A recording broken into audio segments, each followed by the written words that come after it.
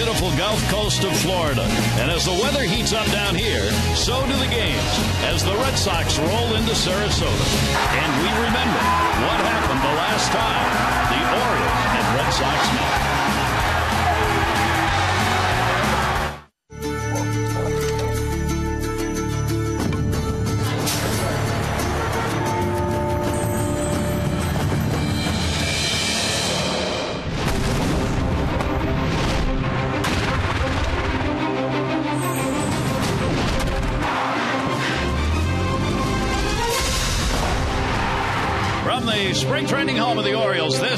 Smith Stadium in Sarasota, Florida. And it's the Red Sox and the Orioles for the second time this spring. The Red Sox having won the opener in the spring games 5 4.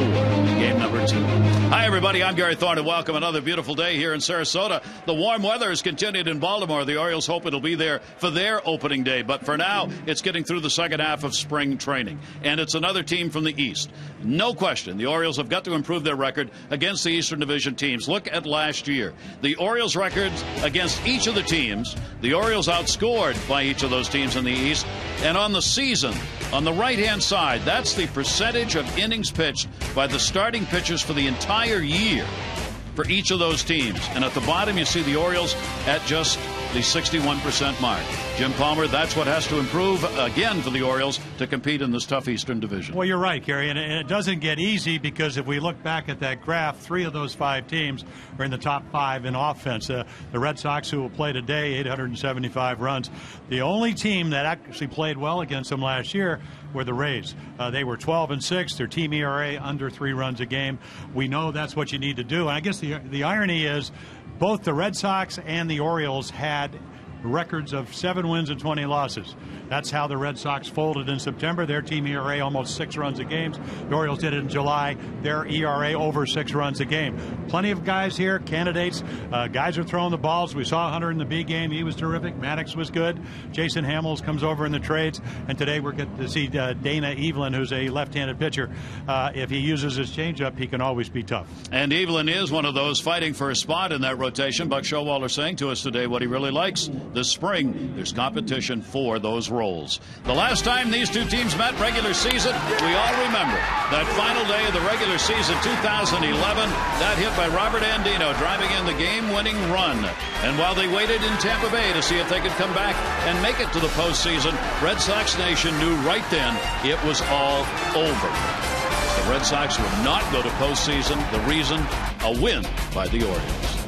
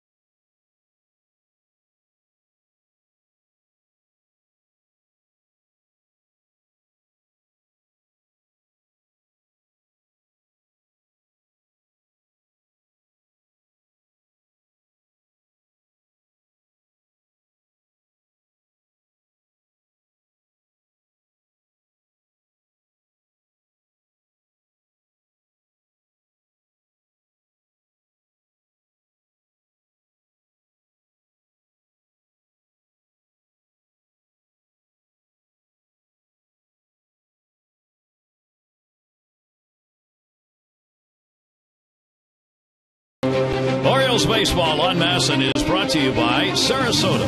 Go beyond the stadium. Visit Sarasota on Florida's Gulf Coast at numberonebeach.com. Some overcast clouds, which actually will hold the heat down. Wouldn't be so bad here today. Almost as warm in Baltimore. Full house will be on hand for this game against the Red Sox, who are four and two so far in spring training. Here's the starting lineup for Bobby Valentine's team. Nate Spears at third base, Pedroia, Ellsbury, Ortiz, Sweeney, Aviles, Ross, all regulars. Kelly Shoppach's going to be doing the catching, probably the backup catcher for them, and Lars Anderson, who's getting a look-see in both the outfield and at first base. David Ortiz, slow start last year, but it sure wasn't a slow finish. And on the mound, well, let's uh, take a look at our scouting report. Bird land of opportunity. Again, 29 pitchers, a lot of them starters. Uh, Dana, one of them last year AAA for the Dodgers, came up, won three games uh, late in the season. So he said, uh, it takes me a while to get going. Well, you better hurry because there's a lot of guys to choose from. And then there are five left handers in this lineup. Let's see how he gets the lefties out. And Nate Spears will lead it off. He's two for six in the spring so far. Shows bunt down to third. Reynolds, underhand, makes the throw off the bag. Going to skip away. Hauled in by Andino, who backed it up. Probably a base hit. And we'll tell you right away, talking to the Red Sox players, broadcasters, coaches, this is what Bobby Valentine's doing. This Red Sox team is no longer sitting back waiting for the two or three run homer. Yeah, you got a speedster like Nate Spears who actually played for the Orioles uh, when he first started. He can bunt. He does. He makes uh, Reynolds have to make a perfect throw. He doesn't, and all of a sudden you got yourself a base runner. Valentine's doing a lot of that, everything from uh, bunting to stealing home uh, this spring training. There's Dustin Pedroia. Pedroia started out with a three for nine, and Dana Eveland will be tested right away in trying to hold the runner. Pedroia's numbers from last year magnificent.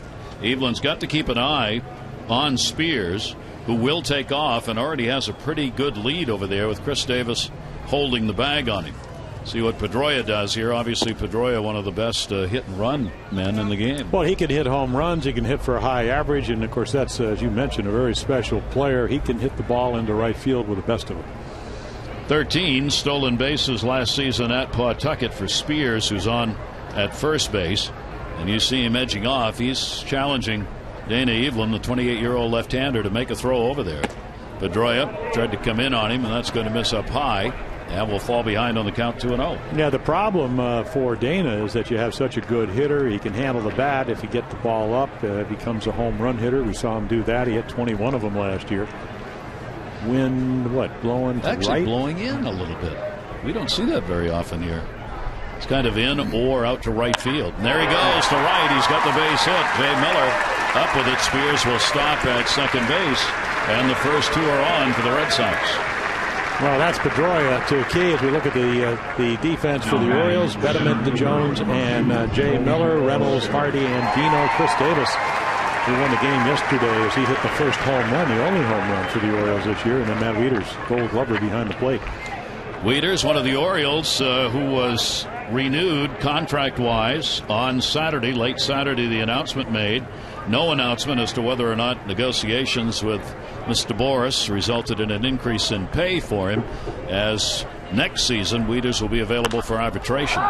Ellsbury will pop that one up third base side. High sky, a lot of glare here. Reynolds is over He'll put it away. The infield fly rule was in effect. Spears will stay at second base, and Pedroia will stay at first. The other players that the Orioles renewed their contracts on Ryan Adams, Jake Arrieta, Josh Bell, Jason Berken, Zach Britton, Chris Davis, Oliver Drake, Ryan Flaherty, Tommy Hunter, Joe Mahoney, Troy Patton, Zach Phillips, Nolan Reimold, Alfredo Simon, Pedro Strop, and Taylor Teagarden, and Chris Tillman. Those players were all renewed contracts on Saturday, and Matt Wieters was in that group. Here is David Ortiz. He started it out with the long ball, two home runs, and on the spring, three hits and nine at bats. Yeah, looked very lean when we talk about David Ortiz. And maybe that's because uh, not only does he have a bat, he is carrying a first base glove. Much to his you fill in the blank. Yeah, exactly. I think publicly he's uh, he's on board, but he said, "Oh, we've tried that in the past." And I said, "Well, you, did did you even own a glove?" And he said, "I said, how old's your son?" He said, seven. I said, "Oh, so you're using his glove?" And he goes, "That's probably about it." But it does make sense because they will play interleague and they will go to places where you might want Gonzalez, who's not playing today, and left, and Ortiz in at first base. Foul back. Lars Anderson is starting at first. He's getting a look in both the infield and outfield, but Anderson is expected to start at AAA. And Bobby Valentine, of course, who is managing this team, he makes a really good point because you saw it with the Mets uh, when Doc Gooden used to pitch in the Mets back in the mid '80s. Davey Johnson, who's now managing the Nationals, managing the Mets, would put Howard Johnson at shortstop because Doc was a fly ball pitcher. The next day, Kevin Elster would play shortstop if uh, yes. Ron Darling because it was a ground ball guy. Oh, great pitch. Yep. Came inside and down on him. So we talked about uh, to the left, five lefties. The Spears gets on the left-hander by the bunt, and then uh, 0 and 2. What do you do 0 and 2? Takes a little bit off, a little bit of breaking ball under the strike zone, perfectly thrown. And here's another one of the lefties. Sweeney, who's joining the Red Sox and will get certainly get some work in the outfield as Carl Crawford is not going to be ready for opening day, and they're not sure when he'll be back. He'll be the starting left fielder when he returns. But until then, Bobby Valentine's going to have to juggle some outfielders, and Sweeney is going to be part of that group. Now, Sweeney against left handers last year hit only 159, 286 off righties.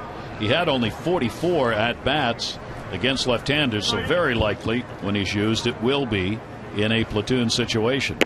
Eveland's pitch is going to be on the inside corner for a strike, and it's one and one. Yeah, he again. They had a multitude of outfielders in Oakland last year. He had come off two years where he almost hit 300, 293, 294, and on a normal year, and last year, as you mentioned, not one of those. He hangs in against lefties. Yeah. A slap hitter, line drive hitter. He's a big guy. And for the Red, yeah, for the Red Sox, excuse me, no. what he brings to the, the, the table, whether they're on the road as they are today, but especially at uh, Fenway Park, is he's a great defender. And there's a lot of room in right field in Fenway Park. He'll get to play a good deal of that. Runner at second, Spears, Pedroia at first, two down, two one. Back to the mound. He goes off Eveland. It's going to be into center field. A base hit. Spears will score. And a tough break for Danny Eveland. Had he been able to handle that, he could have retired the side instead an RBI for Sweeney. His first hit of the spring, he'd been 0 for 8. Yeah, pretty firm ground ball, but normally you catch this ball.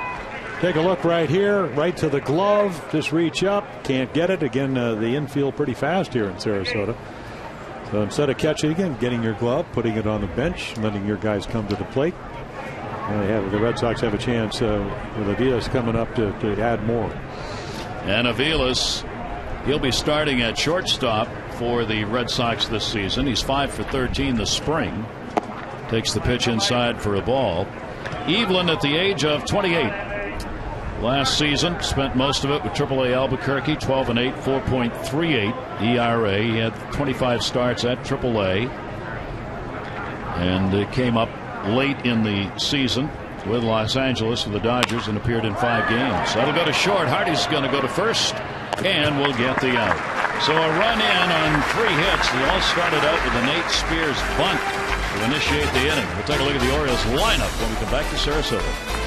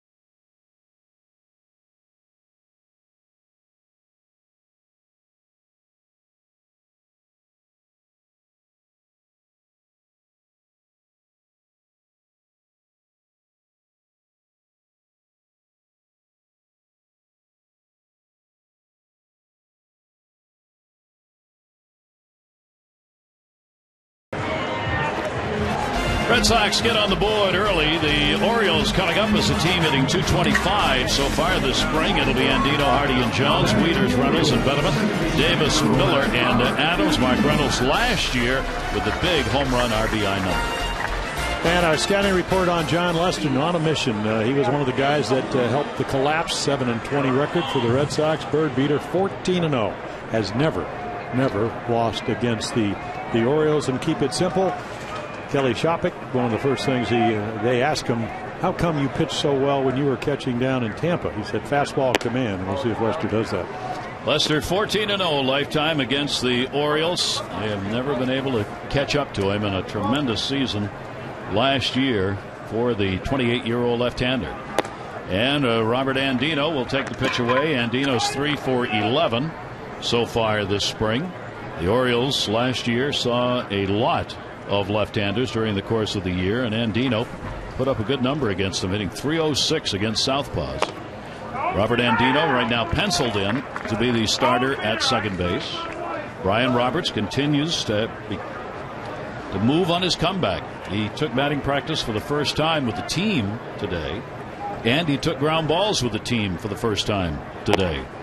So they've had, as Buck Showalter said, some successive days where things have been just right for Brian Roberts. So the hope is he will uh, be able to make the comeback. They certainly don't think it would be for opening day, even if he does. And Andino's on with a walk. Take a look at the Red Sox defense, and of course we know there is nothing for the base that you can defense the base on balls. Ross Ellsbury, who won a Gold Glove, Sweeney and Wright, Spears, Aviles, Pedroia, another Gold Glover, Lars Anderson, and then Kelly Shoppach. Had the uh, big couple of games in the postseason for the Tampa Bay Rays. Here is J.J. Hardy, the Orioles' hard-hitting shortstop, who's two for seven so far this spring. Andino with good speed. Lester with a real good move over there towards first base. Will be the backup catcher, at least at this point, with Salty, um, Saltalamacchia scheduled to be the uh, starting catcher, although there's some question that there may be a real battle for this backup spot. Lavarnway's the so-called number three catcher, but they love his bat. Yeah, we, yeah, we saw that in September with a couple of home runs. Yeah, a big, strong guy that hit what over 30 down at AAA Pawtucket, or a combined Double A and AAA. So he's trying to learn how to catch. Yeah, he's got the offense. Look over for the signs from DeMarlo Hale at third base, Andino still looking over there, getting his lead. Hardy with a one ball, one strike count. Runner not going. That'll be lifted up in the air. Cody Ross puts it away. A lot of changes. Starting with the manager, of course, for the Red Sox and the GM gone. J.D. Drew, Lowrie, Papelbon, the closer gone. Reddick gone. Scutaro, the shortstop. Terry Francona, Varitek retires. Wheeler gone. Wakefield retired. Now Weiland gone. Substantial names there. Yeah, now, of course, it's not like they let uh, Jonathan Papelbon go over to the Phillies and then pick up somebody. They, they got a, a, young pitcher, Andrew Bailey. We've seen him the last three years with Oakland, who now they call him in the Boston Globe a downgrade. I'm not really sure. Maybe that's just a compliment to Papelbon, but he's a pretty accomplished young reliever if he stays healthy. And they really have three closers right now that could be on this team, so it's not as though they're going to have to look around. Bailey is the one who's going to be the closer to start, but Bobby Valentine's going to have some choices as far as his setup people are concerned, and that's got to be nice. Well, Daniel Bardu at 34 holes is going to be a starter, at least uh, starting out. Runner goes. His Shoppach's throw, and Pedroia didn't get him. Safe call had already been made yeah. Manny Gonzalez, uh, so he was going to be in whether Pedroia had the ball or not. Yeah, sometimes you get a little bit lucky, and, and right here, big jump. Of course, he's going on his first move. The throw tails in. If he holds on, maybe gets him in the rear end. See the throw, he reaches. I don't know if he tagged him anyway, but the ball comes out of the glove. So they saw one of the many things that Andino can do and showed uh, Buck Showalter he can steal some bases when given the opportunity. 13 out of 16 last year for Andino in stolen bases. And now Jones gets a chance for the RBI. Adam will take the pitch away for a ball. The Orioles center fielder, couple of hits in eight at bats so far this year.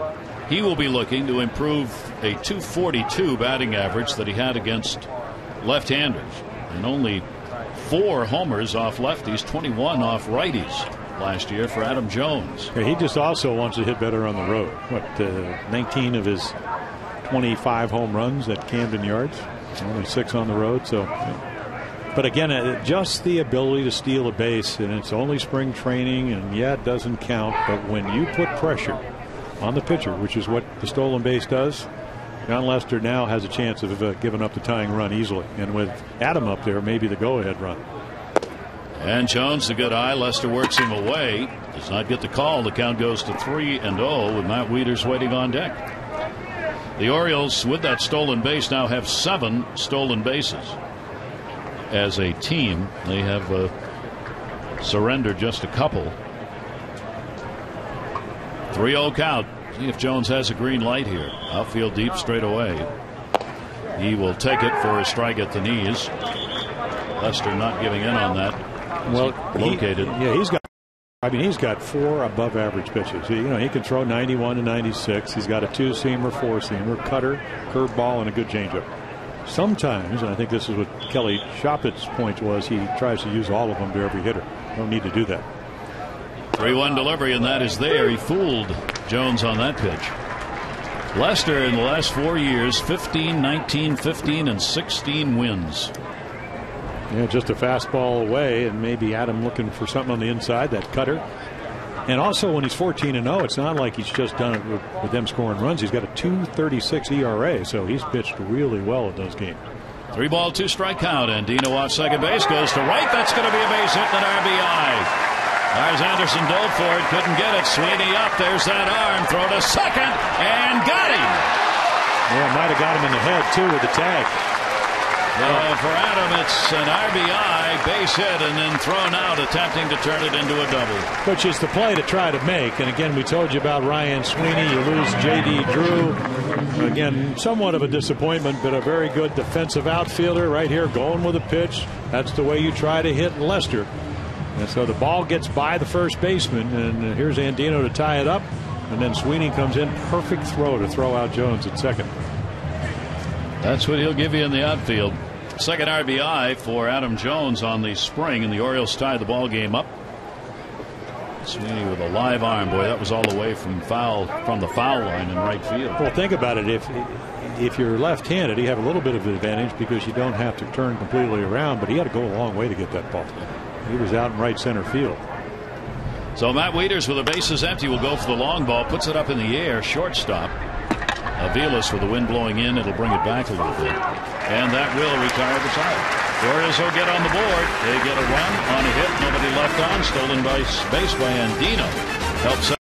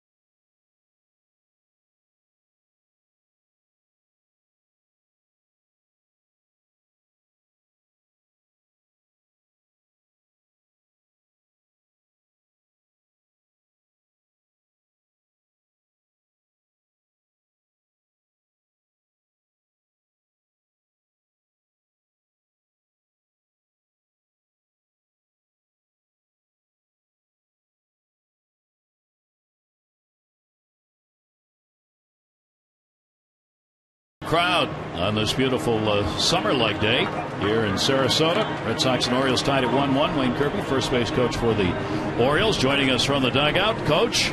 Hey, what's going on? How are you, fella? Hey. We were talking about Brian Roberts uh, just a moment ago. You've had a chance to watch him um, the times that he's been out, take some BP, work some infield. Uh, what's it look like? I mean, he's going in the right direction. Everything is positive with Brian. Um, he's out here every day. He's working. Um, less headaches, and everything's good. How you feeling? I'm feeling good, like every day. Okay. Never changes, does it? so let me add. You know, I, I had to come up here and get prepared for this this uh, exhibition game here. Did you have it? Were you on the backfield this morning? I thought you out there early. Oh did, yeah. Did you see Dylan Bundy? Uh, um, no, I didn't see Bill, Dylan. Um, I saw him in Boston the first game we went over there. And, could uh, you hear the ball popping? Uh, he was throwing pretty hard. Very impressive. And he's got an attitude, doesn't he? Uh, that killer attitude. That's yeah. what you need. He does have that. It's on display all the time. You know, I saw him throw about two weeks ago, and I'm just a, a, a side, a bullpen, and I'm saying, wait a minute, that's a little Nolan Ryan there. Very compact, very strong in the legs. 95, 97, has a good idea where the ball's going, and he's only 19. Only 19. Cody hey. Ross to the plate, newly acquired for the Red Sox. Wayne, uh, just a question about. I know you work with the outfielders, and I was reading something, and I, in my eyes, I don't always listen to all these statistics, but somebody was saying that you know our outfield, talking about Markakis who won a Gold Glove, Jones who won one a couple of years ago, and whoever played left field had the worst zone rating, and I'm thinking, wait a minute, how did they ever come up with that number? Um, I got to think we have a pretty good outfield that could go get them, and they throw well. Your read on what's going on in our outfield? well, I, I, I, heard a lot about that zone rating, and um, you know, zone rating could be pretty different when you got a, you know, like if you put Tampa Bay, they got five good starters. They hit the spot a lot, and it all depends on the pitcher. The pitcher hitting the spot, zone rating be better for us. You know, it's just one of those things. How much positioning during the game do you do with the outfielders, Wayne? A whole lot. Yeah. You know, it's all, again, it, it, it, depends on the pitcher. If the pitcher got his good stuff, we can play them the way we're supposed to. If they off on their on fastball and throwing a lot of off speed, we got to change. So it's in-game adjustments. Yeah, I think you know we have so many young pitchers here, but uh, and of course I was pretty wild when I came up, but when you get a little more experience, can't you play them one way and pitch them that way? It makes it a lot easier. Yeah, it makes it a lot easier. But you know, this is a tough game. We had a young pitching staff last year, and to their credit, they, they worked through the battles. They did uh, gave it 100 percent, and some things didn't work out in the other direction. But um, you know, that, that's the way the game. That's the way the game is being played. How much do you expect the, the Orioles to be running, uh, hit and run, bunting, that sort of thing this year? Well, I mean, it's, it's hard to say. We're going to take what the opposing team give us. You know, if, if, if they're going to, you know, go to home plate over 1 4, 1 5, we're, we're going to try to steal it back. They keep us close, we're going to play close. We don't want to just give them out. We're just going we're going to play the game the right way. Base hit picked up by Cody Ross. Here's Kelly Shoppach doing the catching, two for six in the spring. And we'll chop that one foul outside of third base. Wayne, all coaches have to go uh, research for every game and every series the opposing team. When you do that as a first base coach, what are you looking for? Well, well, first of all, we get the scouting report um, probably the day before the game. Uh, we actually play the series, and uh, as a team, we'll go over the scouting report. But again, we got 12 different pitchers four, we got five starters, so we can't play everyone the same way. We'll go over that scouting report for that particular day, and uh, the next two or three days, um, I will give them a scouting report on on them again. So they get a scouting report every day from me. Yeah, hence the uh, when you looked at Andino stealing a base, Lester, you know, the Orioles have never beaten him, low ERA. You try to push the envelope when you get a guy like him on the mound. Well, you, you, you, have to. I mean, we all know what Lester's capable of, but if we can push the envelope and and we're reading something that that he don't feel comfortable with, we'll take it. Wayne, a, a lot of fans, we use the numbers of how long you used 1.4, you just said a minute ago. Will you talk a bit and explain what are good, what are average, what are bad numbers as far as pitchers coming to the plate are concerned? Well, I mean, when, you're talking base run, a guy who's one three five, he pick up his front foot, delivers the ball to home plate, catchers catch the ball. That's one three five, and then you you got to add in that today's catchers like a Matt Wieters who's one eight eight towards catch, catching the ball and releasing it to second. It's one eight eight, one three five. You got to be a pretty fast runner to get there. So what's the line for you where you say, you know, we got a real shot at running? Uh, one one three eight, one three eight, and the good base runners, the the real good base runners, anything one three five and higher. Yeah, and then you get a catcher like Varitek who retired, who's not 1.88 the, the time he catches it and getting it to second. You got a chance to, to steal some bases. Exactly. That's when we talk about you can run on both the catcher and the pitcher, depending on who it is. Big lead for Cody Ross. And a breaking ball. This is Lars Anderson, first baseman, batting ninth, four for nine with a home run this spring, and a 1 0 count with one away. We expect, uh, Wayne, if you heard this Red Sox team under Bobby Valentine is going to look a little different as far as their style, I guess. So, what are you hearing about that? Uh, they still got the same. They still got a pretty good team. I mean, he's he's there. He's the manager. He's there. They're doing a lot of apparently bunting and hit and running and trying to steal home and stealing bases. Uh, not sitting back very much this year, at least early on. Wayne, you could say it. It's only spring training. That's right. It's only spring training. yeah. I mean, you know, when you go into Beantown or they come to us, we we expect a battle. And you'll get one. you got that right. And the delivery by Eveland down low. Wayne, we really appreciate. He's getting picked off at first base. Don't know if he was going to try and run or not. There's the throw, and it goes off the helmet into left field. It hit Cody Ross and ricocheted. They would have had him and Chris Davis been able to get the throw to Hardy, but he couldn't. Yeah, what happens though is if, if Matt Wieters runs at him, you don't have to, if you're Chris Davis, pick the ball up and in a hurry try to throw it around the runner. And that's what happened. Because again, right here, he's just going to kind of go. He gets caught. He's leaning right here. Okay, now the quick throw. Now watch this. He's got to catch it on the run. He's got to throw right into the runner, and that's where you get the deflection. One of those extra outs we talked about. They like to have Matt Wieters running at. Well, yeah, you can just kind of run after him. It's kind of like with a runner on second, and you and you you get him caught between second and third. You're taught to run right at him. Again, that play doesn't happen very often either, though. Anderson gets the walk, and that will put runners on at first and second. Wayne, go through that. If it's done right, how would how would you practice that? Well, again, that's a play that very often happens, and um, again, you need to run them. You need to run them at run at them. If, I'm, if, if, if in that situation, you got to run after him, but we just got a quick throw, got a quick release, and picked up. That ball was in the dirt. He picked it up real quick, and he only doing doing what he's supposed to do. Nate Spears, two on, one away tie ball game, leadoff batter. If you're on the other side of the coin on that play, what is the runner supposed to do at that point? Besides get off the field as quickly as possible when the game ends. That, you know, that's a tough play. That's a tough play. He caught himself out in no man's land. When you catch yourself out in no, no man's land, and uh, you, you got to make some quick decisions. Do you want him trying to get to the advanced, head to the advanced base rather than come back? Uh, and neither. neither. Yeah. neither. I mean, once that ball hit the dirt and you saw him pick it up, you should be. You, you know, once you keep that ball in front of him, you can't advance anyway. If he went both knees to the ground, a little different. Eveland's got a two strike count with one away. Ross, the lead runner, and that's in the air to right field. That ball's hit deep. Wind blowing a bit that way. Runner at second is going to tag. Miller the catch. Throw will come into second base. Cody Ross will advance. Nate Spears is retired. And there are two away.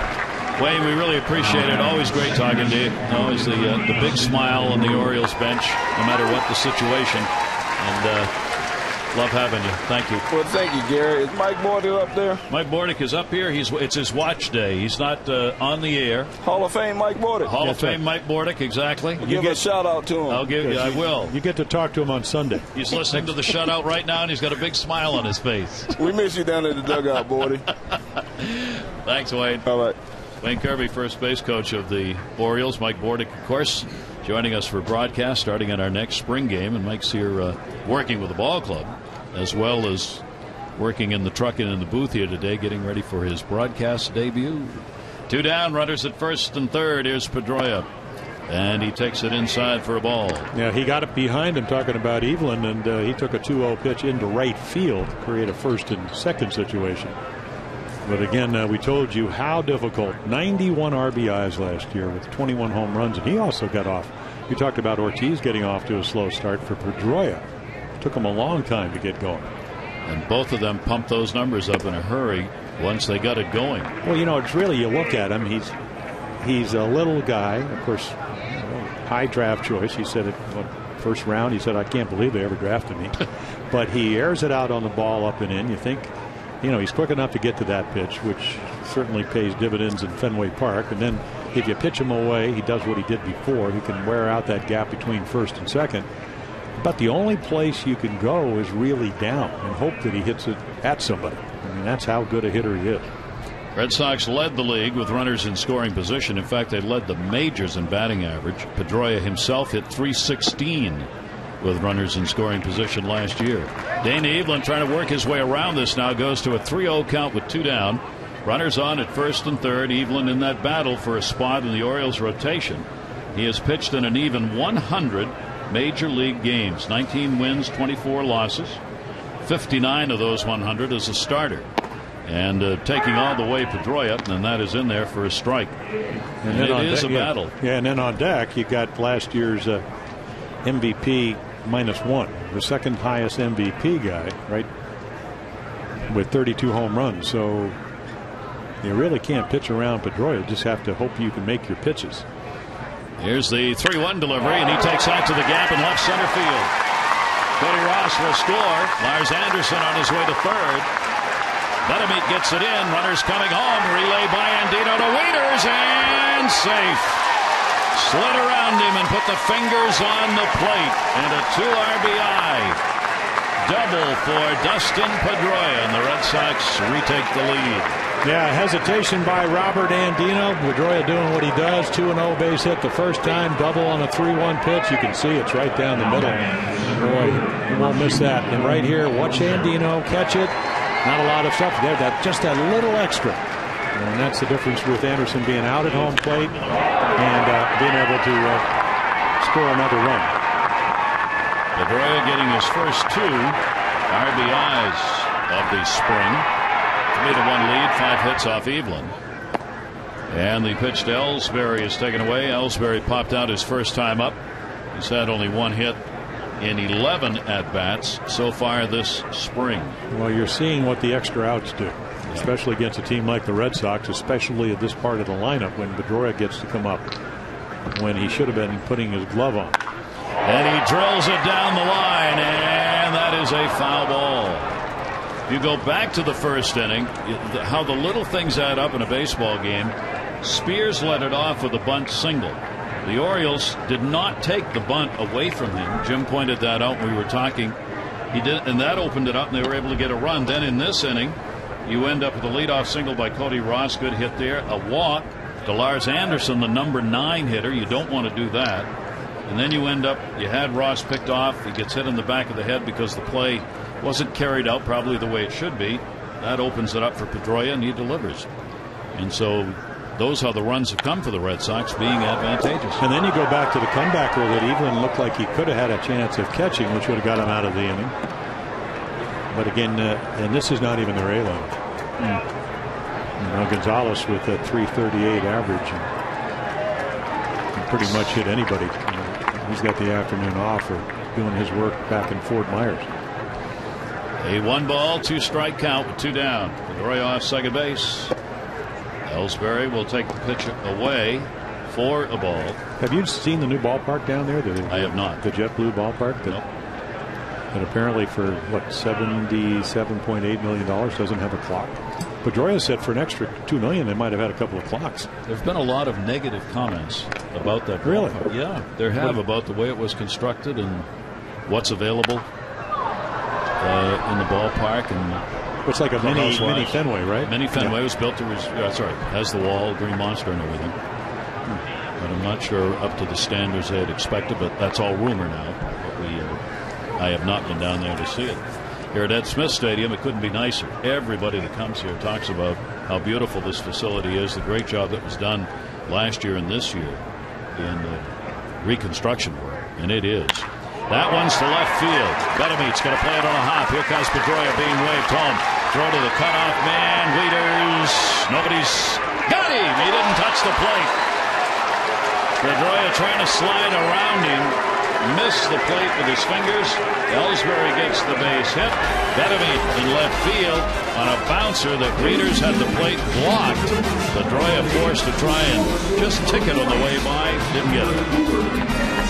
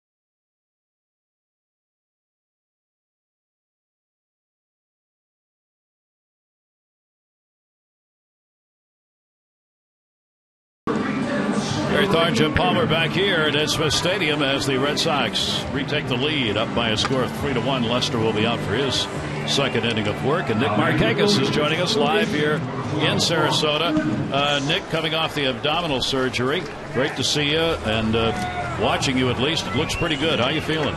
What's up, guys? Um, I'm feeling great. It's just uh, you know day by day getting better and better, and uh, you know everything's going in the right direction. So uh, you know where I'm at right now, I'm happy. Are you going? I, there's a rumor, at least I'm told, that you may play next week, maybe Tuesday, Wednesday. That's the plan right now, unless uh, something were to happen between now and there. But uh, I think Wednesday I'm going to get my first start as uh, DH and uh, ease my way into this. How many at bats or games or whatever you're looking for? What's the progression?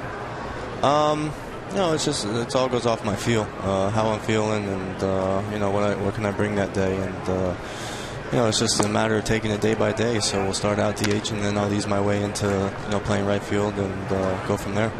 You know, you played just about, let's see, 160, 161 games. I think one year you only played 157 out of 162. That was your off year. How can you explain to people? I mean, is that just something that happens? I mean, where you just feel like you get used to it, you show up to the ballpark, mindset, physical, you know, awareness of what you need to do? Yeah, it's just, uh, you know, the approach you, you bring to the ballpark every day. You know, you want to be in there, you expect to be in there. Um, you know, and you want to be out there every day. It ain't fun sitting over here watching a ball game. It's a, you know, it's a lot funner playing out there in right field and uh, you know contributing any way you can. But uh, yeah, no, just stay healthy and uh, you know play as many games as you can. Is there any question at this point in your mind that you will be ready for opening day? Um, as far as far as I'm concerned, uh, you know, I want to be out there, and uh, you know, uh, as far as uh, you know, any setbacks, we're good right now, and uh, you know, opening day is you know that's what we're shooting for. We certainly hope we see you out there. Uh, this rivalry with the Red Sox, can you talk about that just for a minute? I mean, uh, it's the East and it's all we talk about, but it really has grown here, and especially with the last game of the season last year. I mean, it's a little different than playing Kansas City or anybody else, isn't it? Yeah, absolutely. I think uh, any team in our division is uh, a rivalry. You know, it's uh, as competitive as it comes, and uh, you know, you got a lot of guys in this, uh, this, this division that are very competitiveness, and uh, you know that's why you, you, see a lot of tempers flares sometimes. You know, it's just it's just part of the game. You know, this division I think is the best division in baseball. You're not going to get any better baseball than what we are where we're at right now, and you know it's just a, a very competitive division and, and, a very tough division. So uh, you know you play every game uh, with a lot of intensity and uh, you know, it's it's uh, it's fun to play and it's uh, it's fun to be part of. It's uh, you know great competition and you know that's what you want at this level. It had to be pretty fulfilling to with the Red Sox not playing well in September to beat them five out of the last seven games. Not to mention that last game, which was one of the more dramatic games that I've ever televised. Yeah, it, it was fun to be part of, and uh, you know, like I said before, um, you know, in this division, you know, whether it's the Red Sox, Yankees, Tampa Bay, or Blue Jays, it's uh, you know you're in a battle uh, you know, you're going to face them 19 times a year, and uh, you know, it's awesome. It's awesome playing this division. It's awesome to be able to play against these guys and these players, and uh, you know, don't take anything for granted. I go out there and play hard every day, and you know, that's what uh, you know this this ball club does. From a player's perspective, Nick Markakis, is 18 games too many?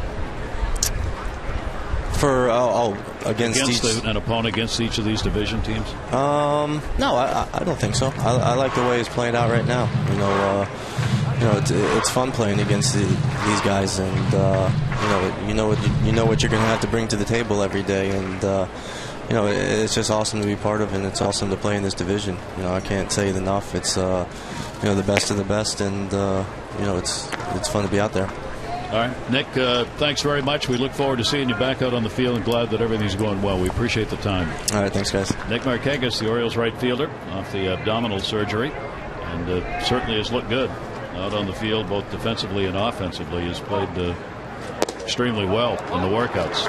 Wilson Betemit, who's trying to get a job with the Orioles as one of the utility players, gets the walk off Lester. That is the second walk surrendered by Lester. He comes from one away here in the second inning. And everybody, and of course, they always talk about it. Uh, better situational hitting, higher on base percentage. Betemit can do that. Switch hitter, over almost two, three, 350. Uh, the, the Red Sox led the American League with a 349 team on base percentage. So Betemit showed you why uh, they went out and got him. Yep. And here is Chris Davis, the Orioles' first baseman, four for 13 with a home run so far this spring. In fact, the Orioles have only one long ball so far. He got it yesterday, fourth inning, off Scott Allardyne, as the Orioles beat the Phillies yesterday, one to nothing. Ryan Mattis had a great outing. He worked four innings, Alfredo Simon three, Oscar Villarreal an inning, Miguel Skokolovich an inning, and uh, Davis's homer is all the Orioles needed, and they beat the Phillies one to nothing. 1-0 count on Chris Davis. Jai Miller waiting on deck. Betemit at first. Lester's pitch will be taken away. Lester's trying to get the Orioles to swing at pitches that aren't strikes here. He's been doing that uh, in the two innings of work here, well, the Orioles aren't. Yeah, he still has not been able to establish his fastball kind of know how that feels. Sometimes you're out there, and again, it's a second start. Uh, read the article. He was trying to work on his changeup the last time, but he does have four quality pitches. 2 0 delivered. Davis will take it and again, trying to get the outside corner. Not getting the call. Chad Fairchild, the veteran umpire working behind the plate, has seen Lester, even in a spring training game, stare in a couple of times, asking, mm, maybe I'd like to have that one. What do you think? Well, you think he might be swinging 3 and 0 here. Mm-hmm. Fastball hitter, maybe get something down in the zone, better low ball hitter. He did. He will foul that one away. You're looking uh, for the long ball, the RBIs out of Davis. There will be a lot of strikeouts to go along with it. So, see if Mike Bordick was talking today instead of observing. Yeah, we could ask him, you know, because he hit three and oh all the time. He was that good. Yeah, he was. Yes, he was He knew he was going to make contact. He knew he wasn't going to swing it back. That's right. Yeah. He was only going to go after the pitch that was his. It's all about the preparation. That's right. Mike's going to be joining us for half the regular season broadcast and for the remaining spring training. Maybe sooner than later. You never well, know. if Jim decides he wants to go home early, a little quick. Uh, yeah, I need a little jump on the. It's going to be a traffic jam in Arcadia. Yeah. About four. I might have to beat it. Well, you could stop and look at antiques. Arcadia's a lot of great antique shops. Well, you know, I, I kind of getting used to that little ride across the the, the interlands of uh, Florida. Yes, yes, deep into cattle country. Well, Arcadia, yeah, I, am uh, you know reef and beef there. That's, that's beef. one of the finer restaurants. Then you got five guys in in Okeechobee. And then probably your favorite. That would be in Indiantown. There's a, There's kind a of- ball yeah. We're going to get back to that in just Yes, a minute. we will. We'll- Uh, we we'll visit that. For as low as 159, you can become an Orioles partial season plan holder and enjoy a huge list of exclusive orange carpet benefits. 20th anniversary, of course, at Camden Yards. One you do not want to miss. So become an Orioles season plan holder. 888-848-BIRD or Orioles.com for complete details. My favorite restaurant is Well, that would be in Indiantown. Uh, Yeah. It's uh, Chef Chang's Chinese and Mexican food to go.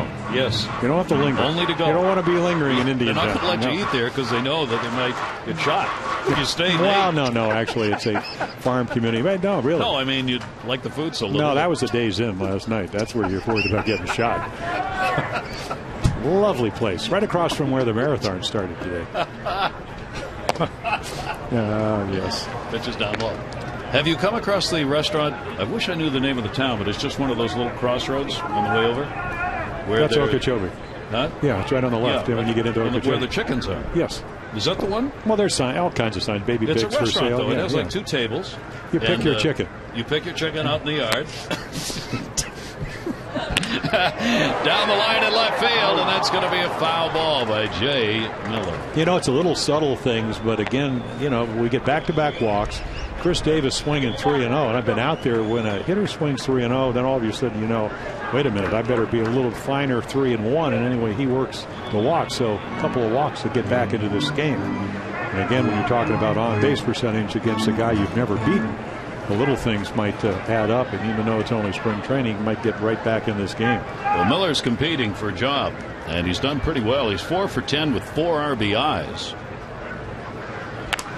And a little check swing right there is going to be foul back. Well, How about the lead runner, Davis at first, and one out. That's that little cut fastball. And as a hitter, you always know that it's there. And at the cutter, you just you don't see the spin.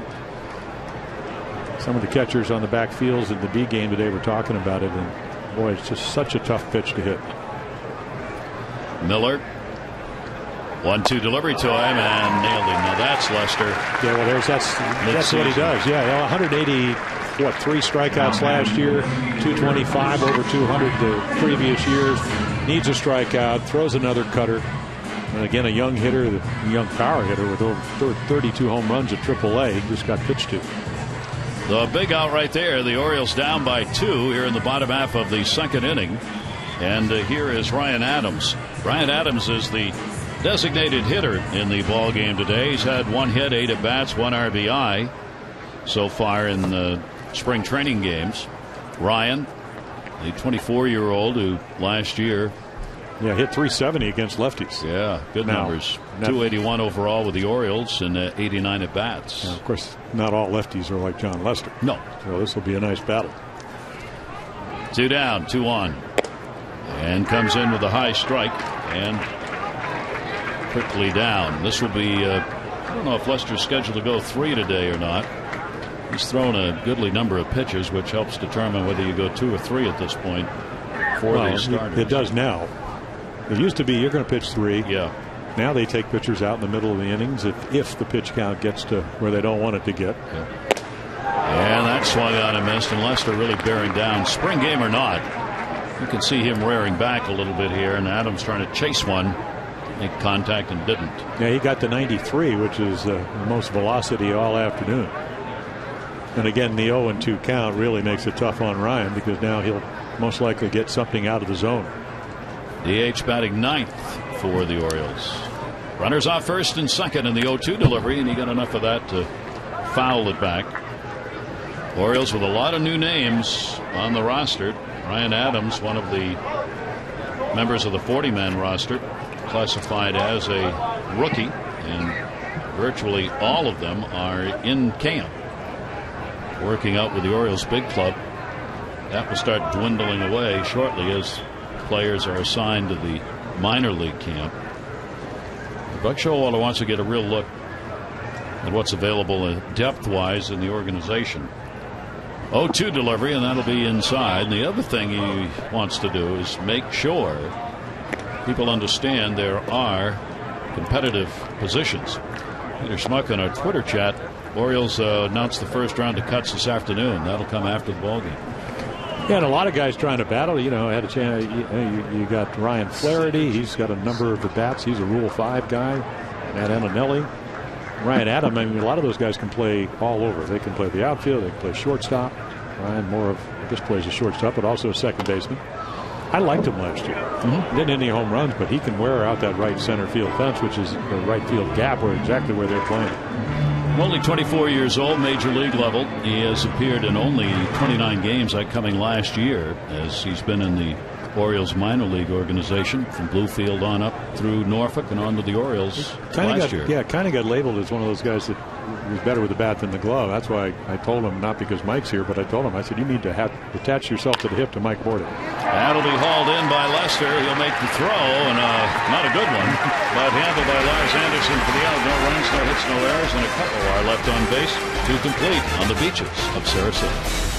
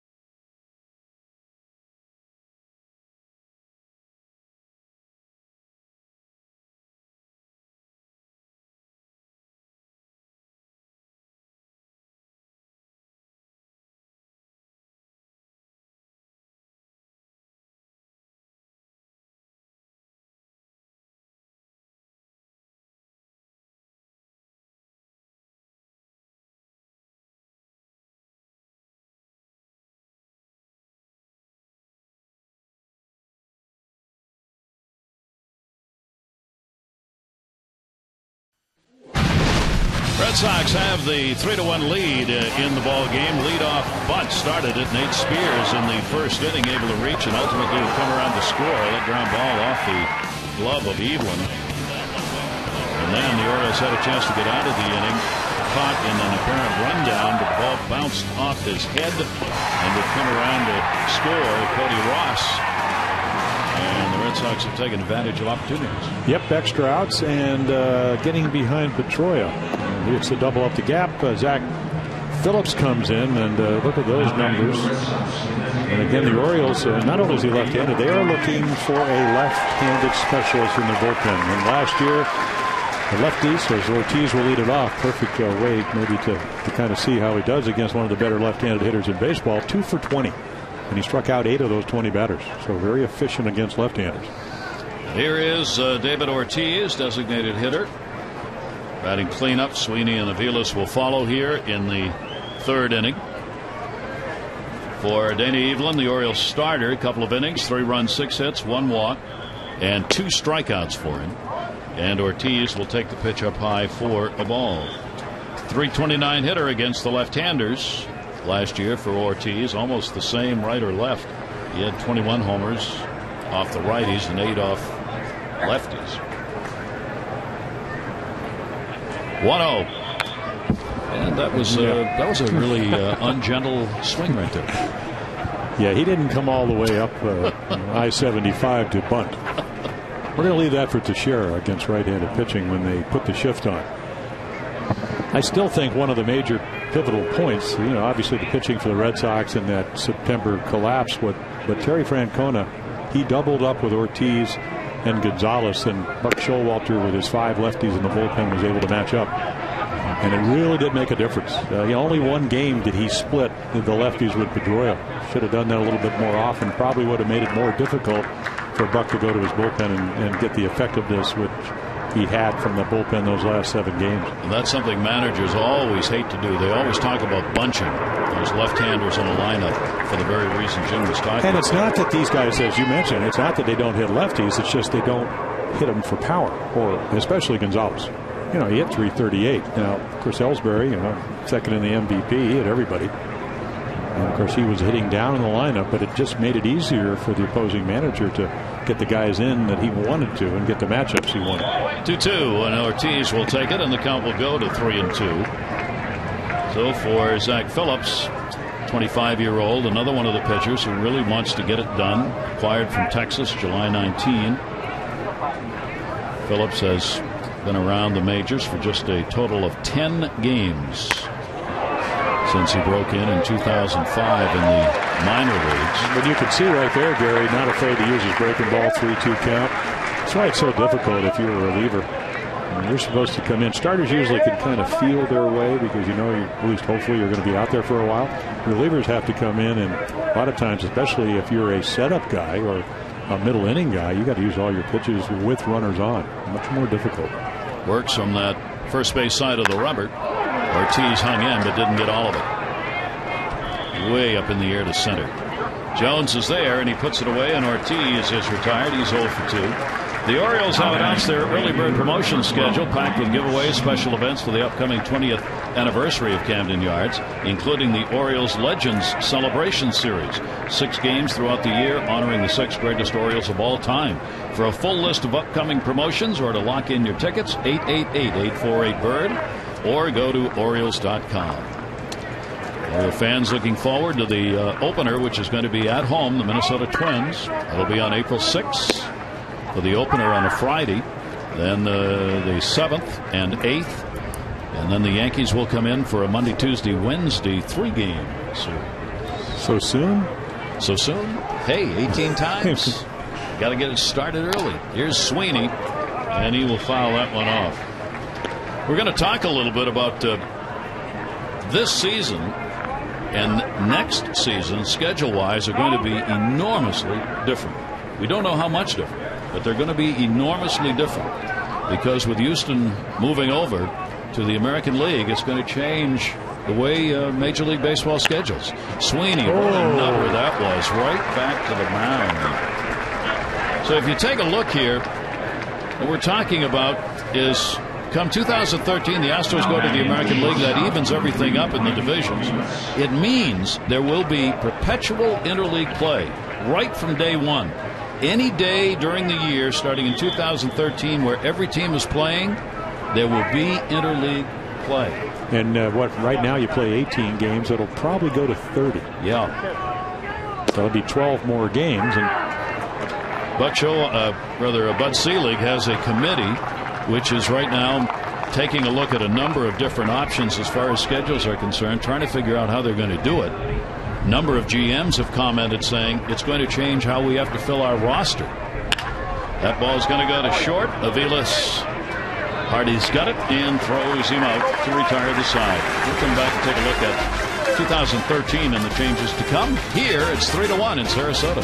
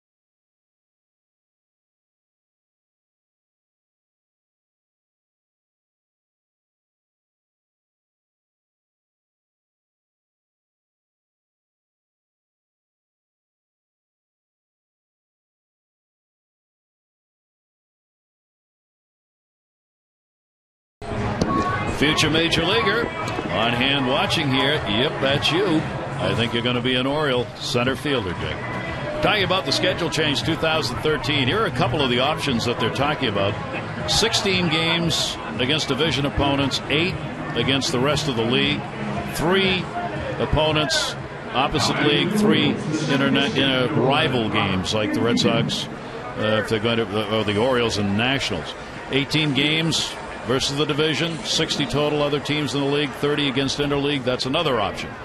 Uh, Katy Feeney, uh, Major League Baseball, is one of those on the committee, but Selig is set up, and they're trying to figure out how to do that. Chopper down to third. Big hop. Spears has got it.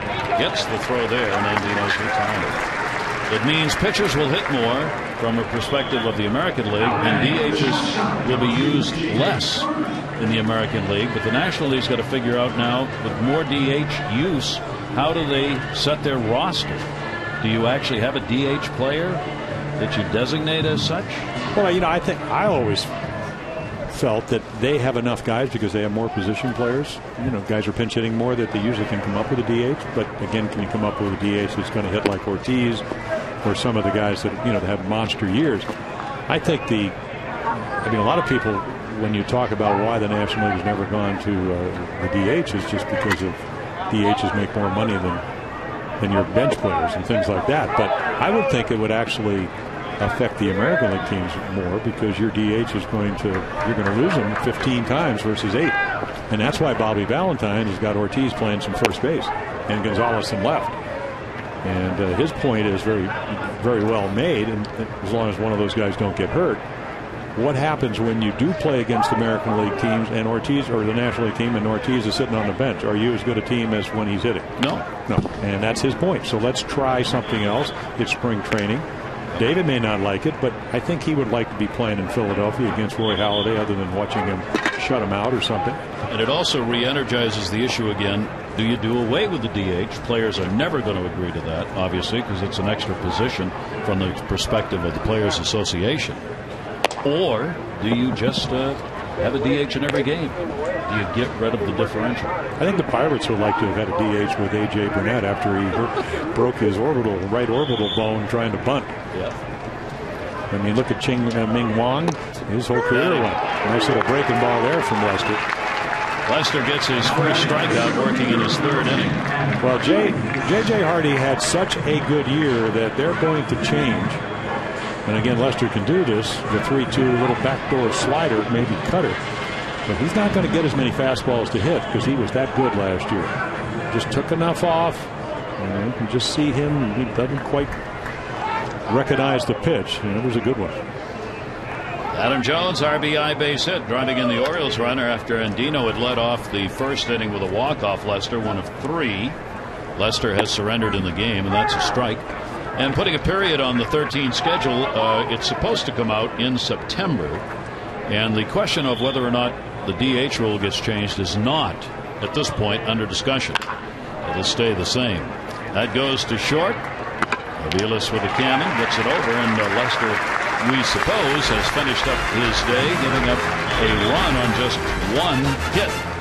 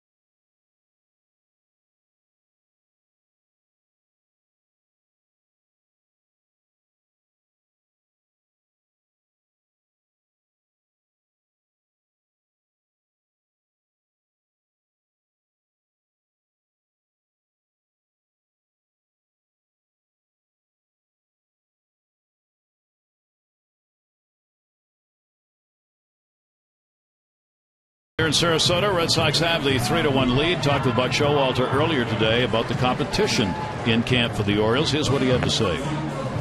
Nobody's that smart. You need to keep an open mind about it. You know, this is that time of spring where you really get fooled. In about seven to ten days, you'll really get a barometer on what, what's real and what's not. You know, the double A, triple A guys get out of here. The, the the eyesight, as far as the look in guys' eyes when they know it's coming down that time and they're getting ready to ring the bell. So, from my experience, you just kind of you watch, you take it in, but you don't start making decisions in the uh, early part of March. You'll make a lot of mistakes, and uh, we'll take it all in. We got a lot of baseball here. If you walked up to me and said, to, "What would you do right now?" I got the I got an answer from my perspective, but I like to hear other people's perspective too. Like Showalter talking today, that full uh, interview will be on the Mid Atlantic Sports Report tomorrow. We talked about a number of issues with him midway through the spring training. A three to one lead. Orioles go to their third uh, pitcher, Chris Tobin. Yeah, struggled in his first time, but threw the ball very well. Another one of the guys that worked out with Brady Anderson on his conditioning. His windup at least appears to be a little bit better. Velocity was way up, as was Brian Matusz's. So those are the numbers last year. 13 starts for the Orioles. And yet another pitcher battling for a position. So and what we go to the uh, fourth inning. So he comes out and drops off a curveball to Ross. And of course, anytime you do that, now he is looking dead red, and that's what he hits. That's what he did the first time up. He has singled and scored a run in the ball game. Cody Ross, five hits, ten at bats so far this spring. Chris Tillman appeared against the Red Sox on the sixth. He went two innings, gave up three runs, two earned on four hits. Did not walk anybody and struck out one. This is his second appearance. Fouls that one back. So far for Eveland and Phillips. There's the line. Yeah, a lot of extra outs for Dana, and uh, parlayed into three runs. And then, of course, Phillips comes in and pretty much did what he did last year. Pitches well. Got the lefties out, at least two of them. Cody Ross with the one-two delivery, and he's got a base hit. Just hung in on that one. It'll be played by Miller. He'll make the turn and stay. And Ross is two for two and continues to have a fine spring at the plate. Oriole Park is the perfect setting for your next group outing. Gather up family, friends, co-workers, colleagues, and have a great day or night at Orioles Baseball at Camden Yards. Discount tickets are available for groups as small as 15 or party facilities up to 1,000. Camden Yards, make it your next group outing. Details 888-848-BIRD or Orioles.com. That'll be hit number seven for the Red Sox. Now Tillman will go to the stretch. Ross on at first. Kelly Shoppach, a strikeout victim, his first time up. Yeah, he didn't get a lot of uh, good fortune on that. A pretty good pitch. Jammed him, and he just shot it into right field. The old hang with him hit. Well, I like Cody Ross. Uh, you know, he played on the Giants in 2010 when they won. He can hit some home runs. He's hit over 20. And he was playing in the for the Marlins. He should fit very well in that offense, especially in Fenway Park. And especially early with Carl Crawford out of there for an unknown time. Sweeney, Cody Ross, McDonald are going to have to uh, fill the roles in right and left field. So Bobby Valentine will, we suspect, will do a good deal of juggling depending on the opposing team and pitcher. Yeah, he's already announced that. Uh, I think the team with the most lineups last year, most different lineups, was the Mariners. Of course, the worst offensive team. They had 153 different lineups. But Bobby said, we're not going to have a setup lineup. But you kind of know that who's going to be playing. They must not know where they're going to be batting. Foul back into the screen. Red Sox team that uh, led the majors in just about every offensive category last year runs, hits, doubles, extra base hits, RBIs, on base slugging, OPS, that's leading the majors in all of those categories. And they hit 296 at home, which was the number one average in the majors in a home ballpark. Dustin Pedroia, Ellsbury, certainly two of the reasons why that offense has been so monumental. Breaking ball, hit in the air to left field. Betemit's going back, Jones going back, and Jones will get there, and he's got it. Ross, who is all the way to second, will come back, and a nice play by Adam Jones in center field. Yeah, Kelly Shoppach's going to hit a hanging curveball, and all he does is get it up in the breeze, and it keeps going, going, going. But there is Jonesy. Makes it look pretty easy. vying for a gold glove. As he did last year in center field. Made some spectacular defensive plays. Well, I think another thing that we saw Adam do, especially in Baltimore, it's such a small ballpark, play a couple steps deeper.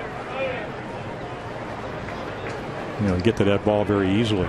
Otherwise, if you're a couple of steps in, it's really a difficult play, even if you do have his kind of speed. Keeping an eye on Cody Ross over at first base. Yeah, Chris Tillman, six six, but for a tall pitcher, you know, maybe slow to the plate, but he does hold runners well. Lars Anderson, number nine hitter, drew a walk, scored his first time up. Wieters, he snapped a couple of throws down there to hold him close. That'll make Bobby Valentine and Buck Showalter happy. I mean, Buck Showalter wants Wieters to be cognizant of these chances. Valentine wants him to throw the ball around. That doesn't throw many away. He doesn't allow a whole lot of guys to steal either. They're close to 40% last year. Tillman with the 1 0 delivery on the way. Oh. Anderson on top of that one. Great pitch by Tillman. Yeah, nice little changeup and a fastball count. He sold that changeup like you try to sell a used Toyota.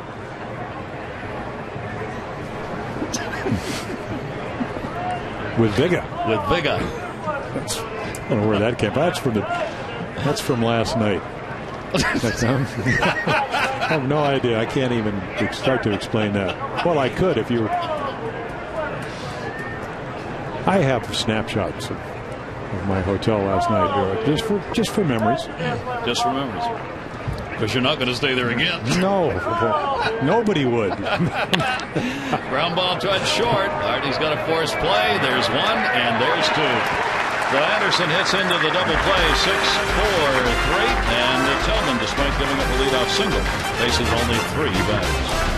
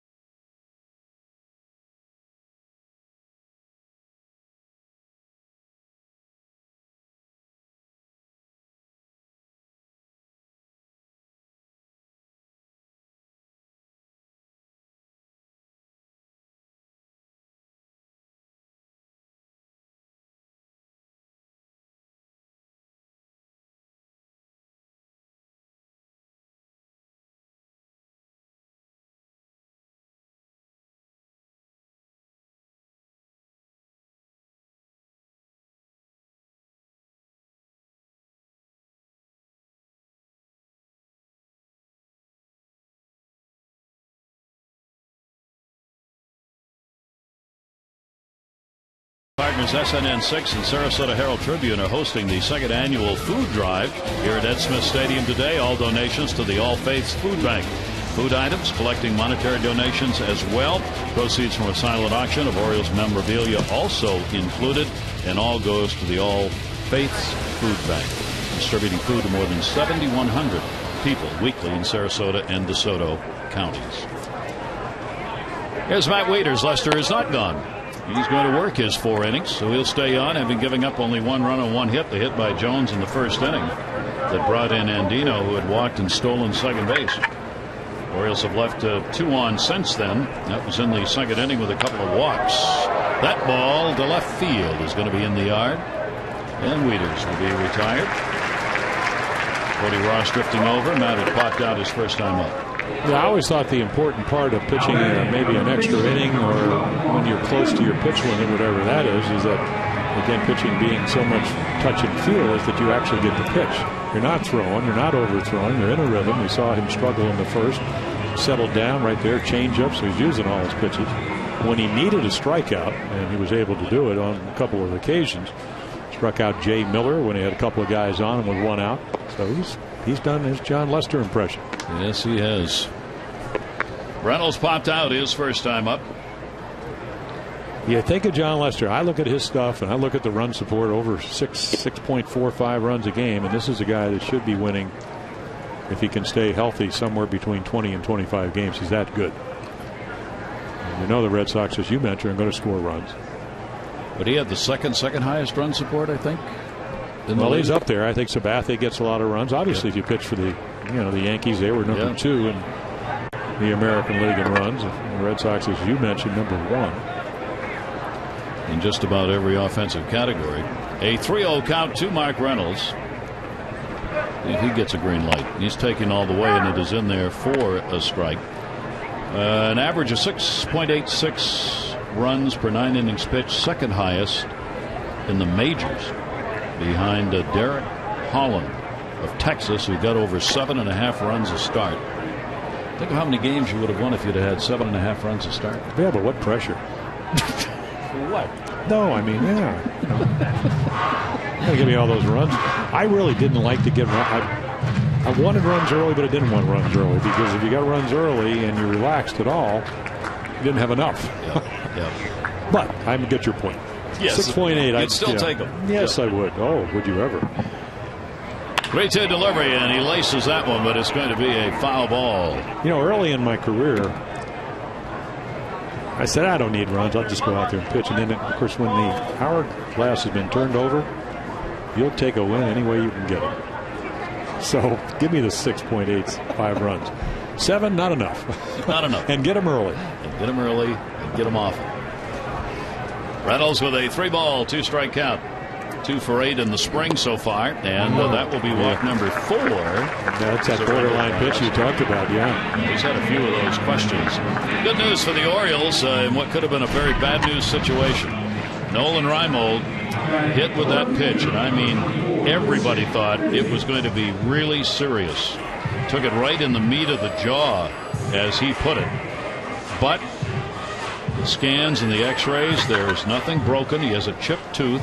But Showalter, uh, we're talking with him about it this morning. Reimold's going to go to the dentist tomorrow to have the tooth fixed and is expected to be back and playing again on Tuesday. Alex Cobb was the pitcher who was, was horrified. Yeah, you don't like to do that. Yeah. You know, there's there's one thing obviously pitching in because it's an important part of pitching. And hitters get comfortable, but when the ball gets away, that is very, very difficult. Talk to Nolan, and I saw Reggie, Reggie Jackson, when he played with us in '76. Dock Ellis hit him in the side of the face, and he was actually right in the kind of the meaty part of the face, which is what happened to Nolan. So he's. I don't know if you're ever fortunate getting hit in the side of the face, but he certainly said it, it could have been a lot worse. Anderson after it couldn't catch up. Danny Eveland started the ball game for the Orioles today. The uh, left-hander bidding for a spot in that rotation, and he's joining us right now. Dana, uh, how about a self-assessment of uh, how it went today? Uh, it wasn't my prettiest day, obviously, but uh, these guys are obviously a tough lineup, and I made a couple mistakes, and I paid for pretty much all of them. Yeah, a couple of extra outs there. Um, and we don't like to pitch to Pedroia 2 0 and 3 1, do we? No, we don't. He, uh, I'm sitting up here and I don't want to do that. he's pretty good in those counts. What are you working on, Dana, at this point of spring training? Uh, definitely my fastball command right now. Still, it's it's close, but still got some room to get better. I mean, I made a handful of mistakes with that today, and uh, didn't quite have a feel for my slider, so definitely got to work on that a bit. Yeah, you were talking about that be, uh, before the game. Is, that something? I mean, you, is it innings? Is it just starts? Is it the fact that you know, big guy, you got to get over your front side, all those kind of things involved? Yeah, definitely. I mean, it's a little bit of everything. It's early still, and uh, you know, we take a couple months off between seasons, and, and, it feels like starting over sometimes. So, you know, got some got some room to get better, but I'm feeling better every day. Buck Showalter was talking about the uh, competition. Uh, do you sense that, feel that from a pitcher's perspective here, trying to find a slot? Uh, I mean, obviously there's competition, but at the same time, these guys are all my friends. So, uh, you know, I, I, go out and just try and do what I'm capable of doing, not really worry about what everybody else is doing. You know I can't control that. So uh, just get my work in and, and try and improve every day. What was the what was it like? You know, you won 12 games. Uh, you know, made the All Star team down at AAA. I always heard that the Pacific Coast League is a little bit more friendly to hitters than it is pitchers. What was it like pitching in Albuquerque uh, with the altitude? It's uh, I always say it's like pitching on the moon. Uh, Not much for gravity there, but uh, I mean you just got to keep the ball on the ground. If you can do that, then uh, you can succeed. And I did a pretty good job of that last year, so got to get back to that this year. Does it help you this year, the fact that you have already pitched in both leagues over the years? Uh, I mean, it's nothing I've really thought about much. I mean, I know pretty much hitters in every league, guys that have been around. I've seen them all pretty much, so it, it doesn't really make a difference for me. Could you can you relieve? Could you relieve? Yeah, I mean, I've done it. I've got, I don't know, probably 40 relief appearances or something like that in my career. So it's something I've done. I, I haven't done it consistently since, uh, I don't know, 05 was the last year I think I was really like a reliever, but it's something that I know I can adjust to and do it if I need to. And the turn by Pedroia, and Betemit hits into the double play. Dana, thanks very much for taking time to join us, and uh, good luck here in spring training. Thanks. Thanks. Dana Eveland joining after starting for the Orioles in this one, 3-1. Red Sox have the lead.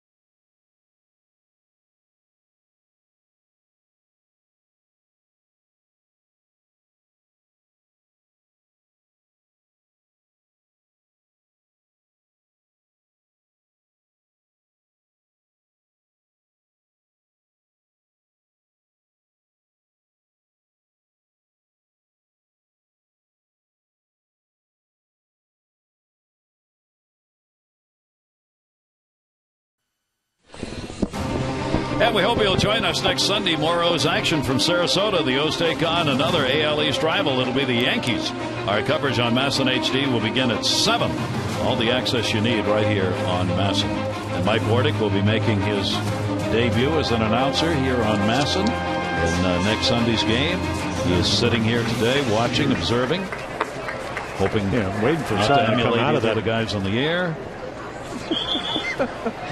Very quietly. Yeah, he even took off his headset. He did. He didn't want to hear anymore. I understand that, though. Tired of us talking about. it. Here's Nate Spears. Well, I'm looking forward to it because if I'm not doing the games, I'm looking because he, and I'm not saying this because he was here.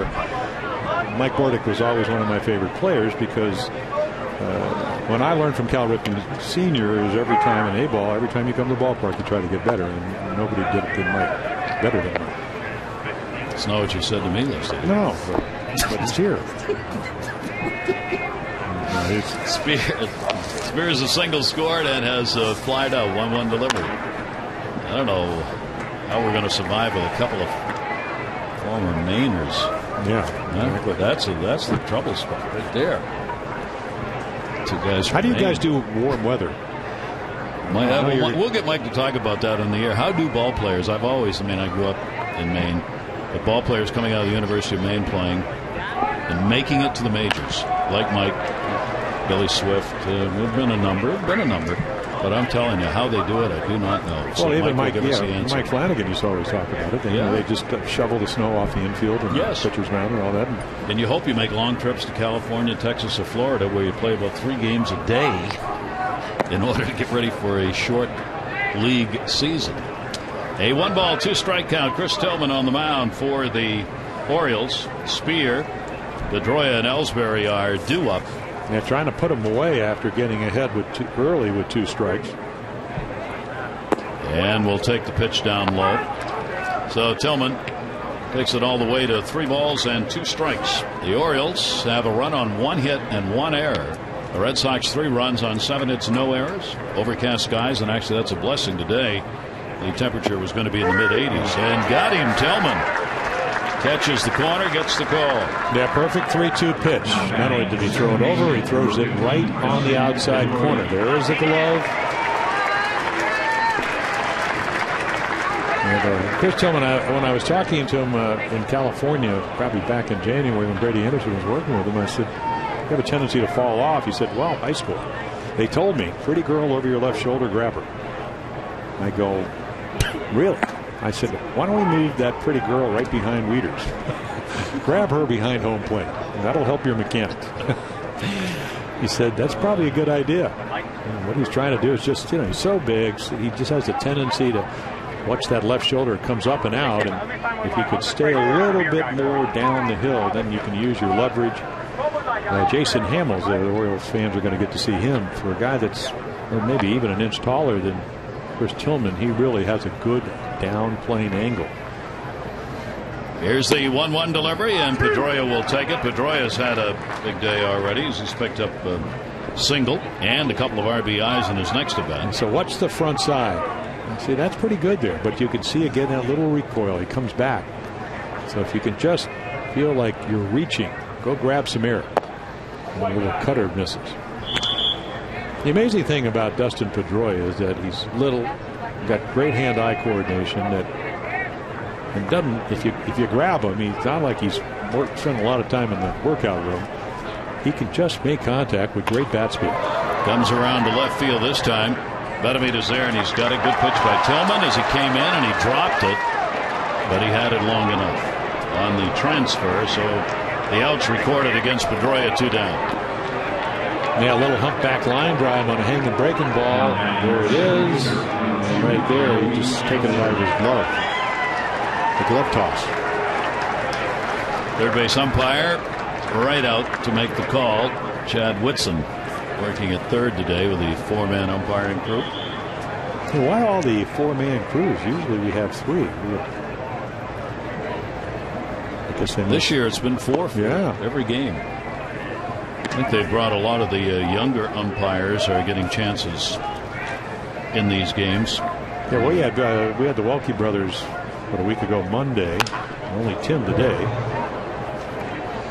And that'll be fouled away. Ellsbury a single and he is popped out and uh, 0 for 2. Uh, 1 for 2 in the ball game for Ellsbury. Only his second hit. He's got a couple of hits and 12 at bats so far this spring. Well, what an impact player. I mean, he can steal bases last year for the first time, hit home runs, over 300, and as we told you, second in the MVP voting.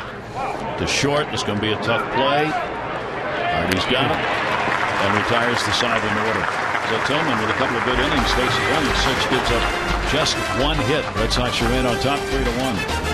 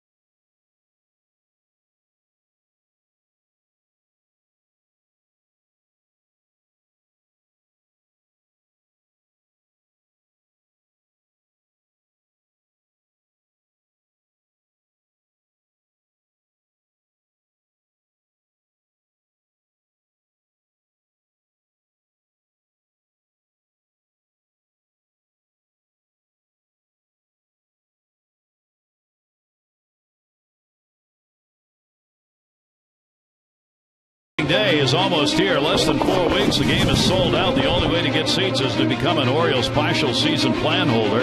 You'll enjoy dramatic savings on the cost of single game tickets. Even have a chance to buy seats for the toughest ticket in town. Opening day at Camden Yards. You'll enjoy the full range of exclusive orange carpet benefits. For details, 888-848-BIRD or go to Orioles.com. We're talking about the weather here in Florida the weather holds up in Baltimore, opening day may be very much like being in Florida. It's supposed to be 80 degrees in Baltimore on Tuesday and stay into the mid to upper 70s the rest of the week. Hmm. Lordy, Justin Thomas. Well, look at those numbers. And uh, obviously, a reliever last year, 63 games, good record.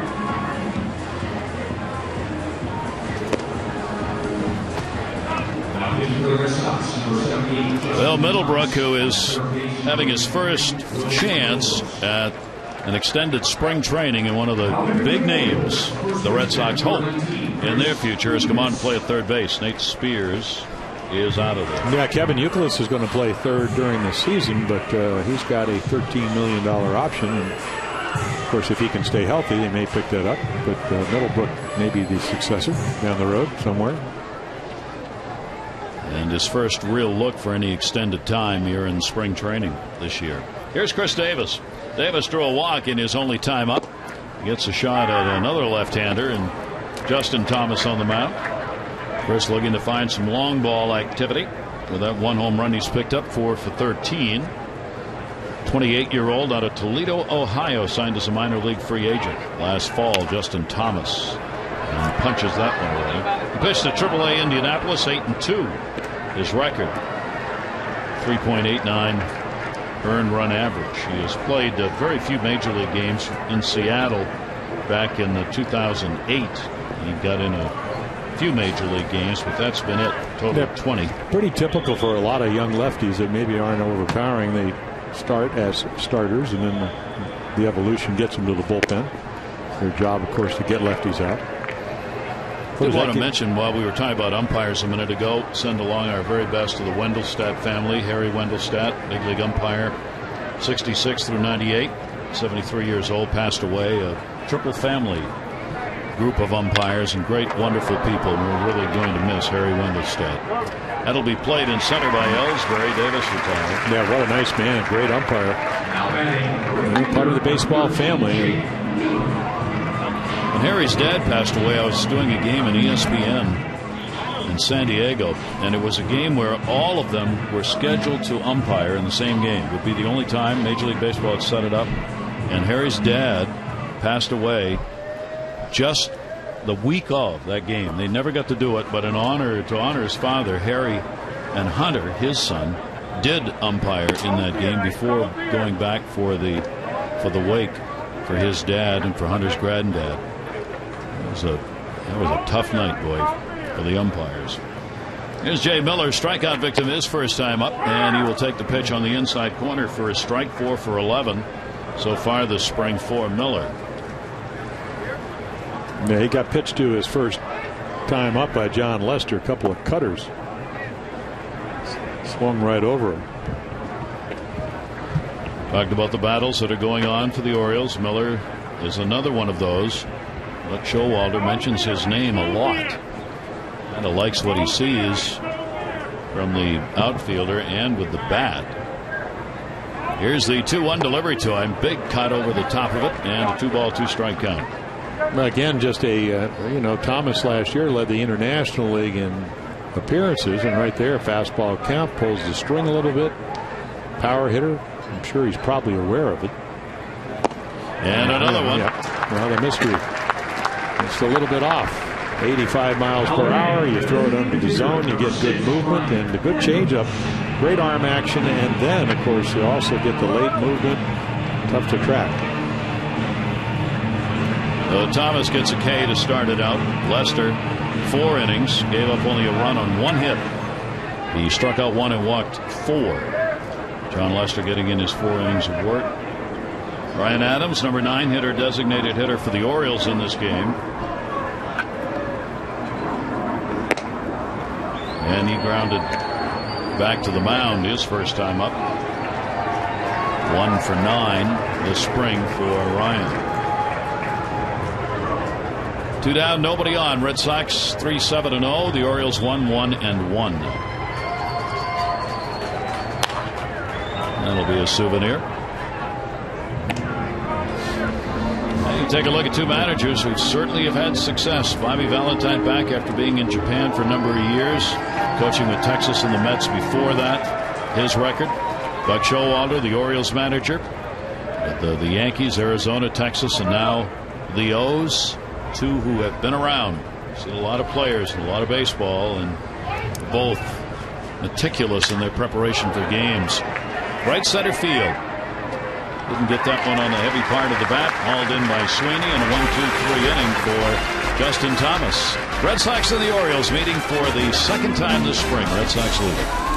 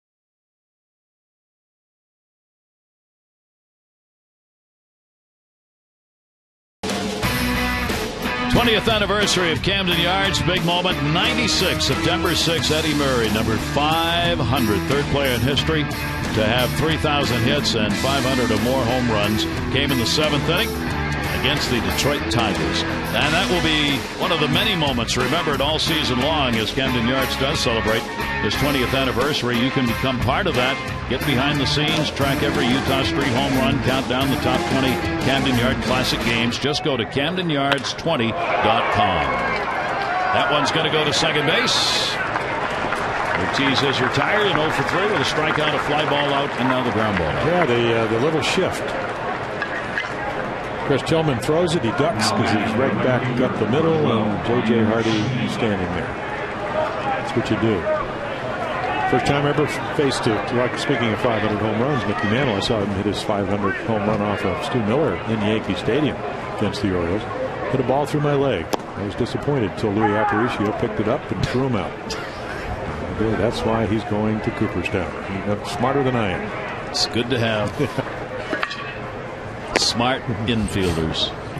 Well, Wayne Kirby made a great point. Mike Bordick certainly would attest to this. If you get a pitcher who can hit a spot, it's a lot easier to play good defense and vice versa. You know, pitch to the defense. Oh, there's a good changeup. In the air to center field. This will be Jones getting back under it. Sweeney's retired. So Chris Tillman, who struggled his first time out, much much better today. Just every once in a while, still maybe falling off, but all in all, wind up a lot better and stuff's a lot better. Little autograph signing time. Kids can get close to the bullpens here. Tsuyoshi Wada down in the bullpen. Some kids leaning over and getting some autographs. Two down and a one strike count on Aviles. Mike Aviles has grounded out twice. And Tillman, nice jam shot. Reynolds, tough running throw. He got him. And that'll retire the side in order. And Chris Tillman with a very impressive couple of innings work here in Sarasota, where the folks who aren't here are there.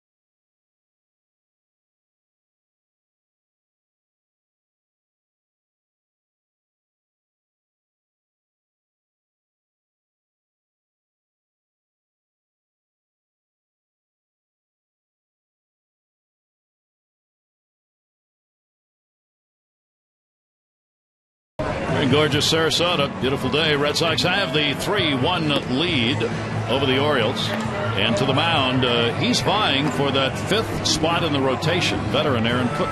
Yeah, they have a number of guys. Andrew Miller's uh, he's had a little bit of soreness. We saw him, the big lefty, but again, when he's healthy, which he wasn't last year, broken finger early on, all kinds of uh, records. Uh, 33 years old. He will turn 33 in February, so he's had some excellent years. He's a ground ball pitcher.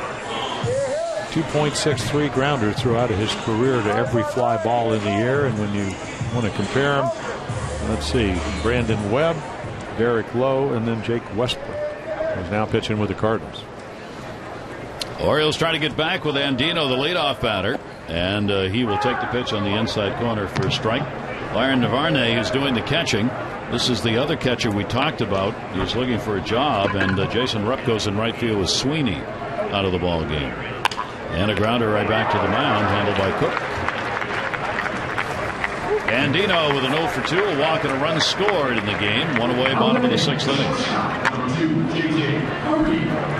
That'll bring up J.J. Hardy. Yeah, that little two-seamer just runs in on Robert Andino's fist.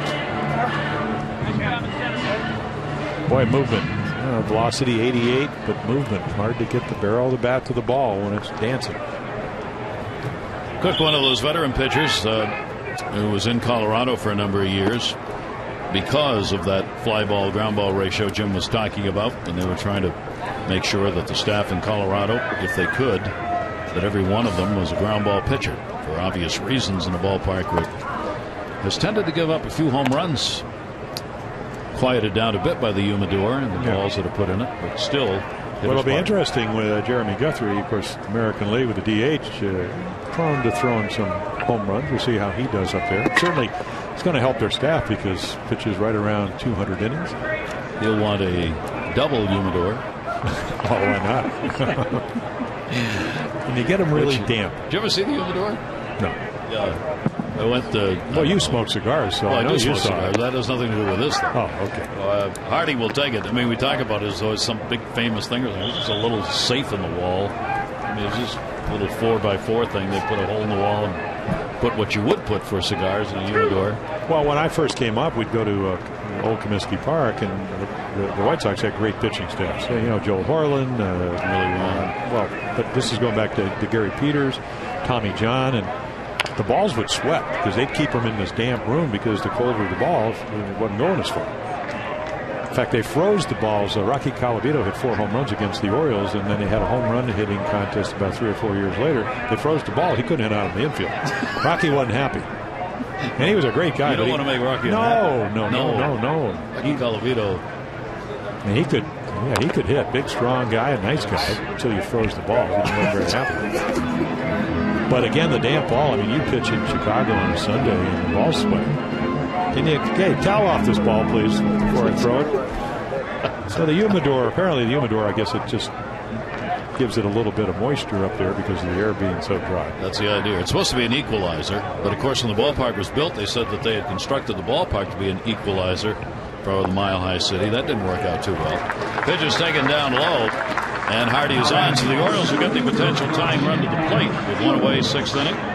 Jones coming up. Adams got the only hit the Orioles have. It came back in the first inning, an RBI single that brought home Andino. Well, he's due. Come on. Marlo Hale uh, coming down the line at third to get the signs. Home run sign. Well, Avery is tomorrow going ought to be the pinch runner. Xavier, he played in the B game today. Yes, he did. And he's playing in this one. So Xavier Avery with good speed over at first base and uh, one away. Adam Jones against Cook. And the pitch is in there for a strike. Yeah, Aaron Cook actually, when the uh, the Rockies played the the Red Sox in 2007 in the World Series, started one of the games.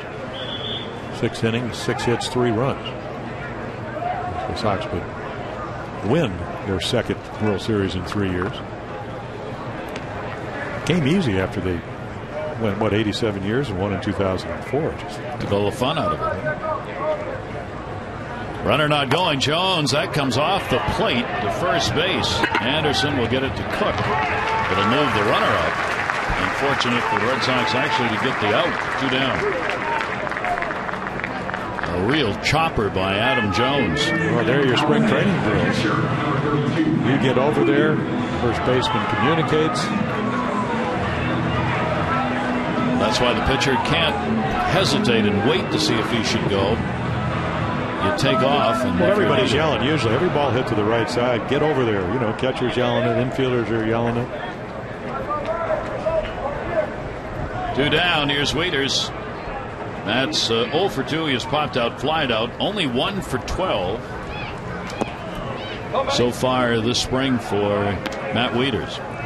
Matt talking about uh, the enormous job defensively of learning these pitchers. So many new pitchers in camp for the Orioles, and at a time where the final decisions on who's going to make the staff probably won't come until late in spring training, which means he's got to cover the spectrum far as knowing who the pitchers are, what they throw, what they're like, how to handle them. And again, 24 days till they break camp. He's got plenty of time to learn it. I, when I talked to Kelly Shoppach, who started behind the plate for the Red Sox, I said, "Have you caught Jon Lester?" He said, "But no, not in a game, but in bullpens." Yeah. So you get somewhat of an idea. And of course, Kelly knows Lester because he had a bat off when he was playing with the, the Rays. Bobby Valentine was talking the other day about Saltalamacchia, his starting catcher, who's who's trying to become a leader on this team now with Jason Varitek retired and Saltalamacchia doing the work. Valentine said looking for him for some leadership since he's out there every day and with his staff. He's got some new names. Strike taken by Wieters, and it'll go to two and two. Two down, runner at second base, Xavier Avery. Yeah, I think that's going to be hand in hand because of Saltalamacchia's inexperience when you have Beckett and Lester and Buchholz, your three big 3 Hmm. A little looping breaking ball there. Again, the one thing, whether it's Jason Varitek or, or not, and of course, I think anybody knows how prepared he was. It's when a catcher puts a sign down, it's a, it's only a suggestion. You still got to want to buy into it if you're a pitcher. Here's a 3 2 with two down and another off speed wrinkle. And misses with that one. So two walks in the inning surrendered by Cook. And the Orioles are two down, two on. And Mark Reynolds coming to the plate. Mark has drawn a walk and has popped out in the ball game. Red Sox, Lester, Beckett, Buchholz, and uh, Bard, of course, moving into the rotation from the bullpen. And then the number five spot is open. Aceves, uh, Vicente Padilla, Cook, Miller, the left-hander. Steve Tolleson has come on to do the running. Matsuzaka is not going to be ready until mid-season, so he's not in that mix of pitchers vying for the spot to open the year in the rotation. And Reynolds will foul that one right off the end of the bat. Yeah, I got to think that there'd be a lot of hitters in the American League that would like to see Alfredo Aceves start. You wouldn't have to see him pretty much every day, and that's the way he pitches. 10 and 2 last year, did have four starts. He certainly, at least in my mind, could start. But what does that do to your bullpen? Yeah. Reynolds waiting on it. Takes it in the air to right center field. Ellsbury will get over and put it away. Orioles retired. No runs, no hits, no errors. A couple left on base. We've completed six. Sunny Sarasota. Three to one Red Sox.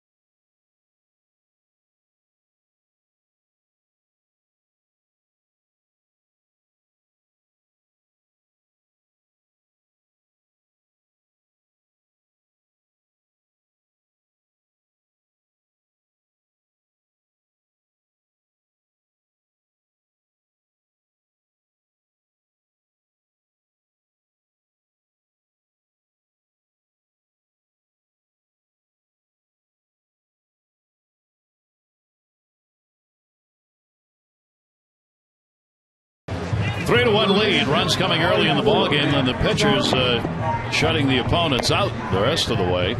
And here we see Luis Ayala coming on last season with the Yankees. Yeah, boy, did he have a nice year. And of course, you get him different arm angles, got a little slider, cutter. Of course, he learned the cutter from Mariano Rivera. That's I think I might pay attention if Mariano's out there on his way to the Hall of Fame with 600 plus saves. Ayala will get a little work in here. Nice job by Tillman in his work. The Orioles getting some defensive changes completed in this game. Hester will come on to do the catching as Matt Wieters will get the break. Tolleson, who came on to pinch run, is going to be at second base. Tonelli will come on and play at third.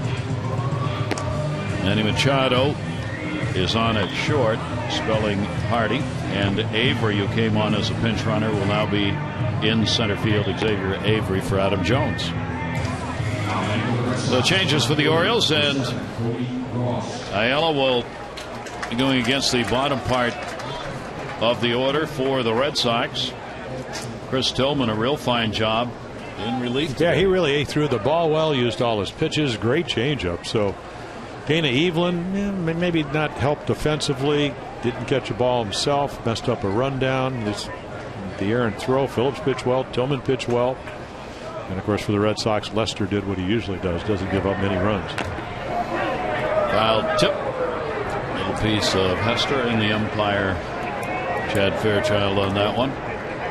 And Cody Ross taking the strike. Ross has had two singles now. He's six for 11 this spring training. Cody Ross is really going to add, as Jim said, to this Red Sox outfield. And uh, if you can believe it, they may even be a little stronger in the outfield this year with the addition of Cody Ross and Sweeney. Mm. Once Carl Crawford uh, gets back, they're hoping he's going to be able to get his play back up to what it was a couple of years ago.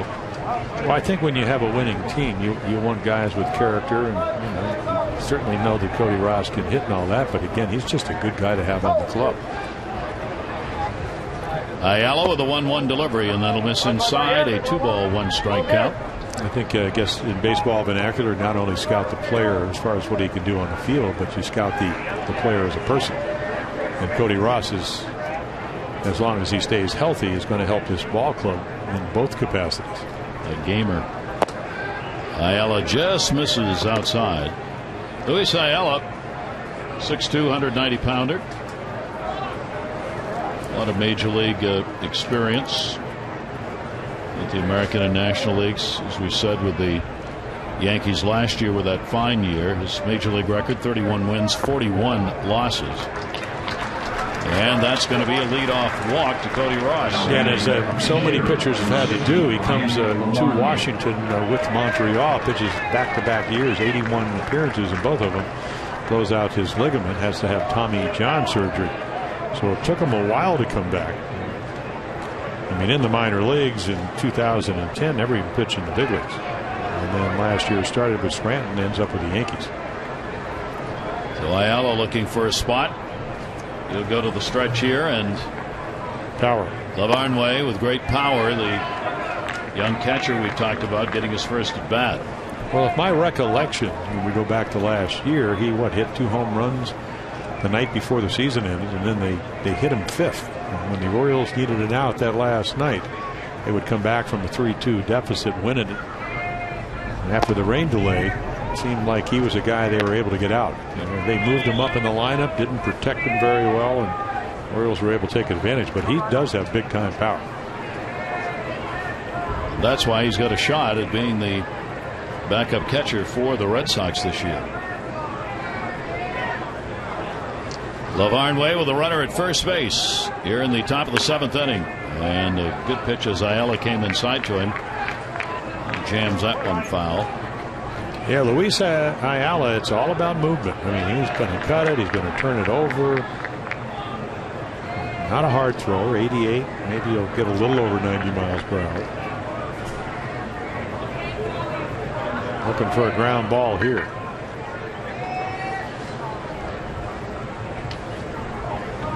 Lavarnway. He'll take the pitch inside. Major league experience for the Red Sox catcher, only 17 games. He's played uh, 370 minor league ball games. Lavarnway will turn uh, is 24 years old, 25 in August. Three ball, one strikeout, runner off first base, and there's that big cut. When he connects, a thing of beauty. When he does not, you get a few strikeouts. Although he's kept those pretty reasonable. Yeah. Well, the other thing, when you look at him, he's never really had a year where he's gotten, well, most he's ever gotten, that was all the way back his second year, 400 at bats. The rest of the years,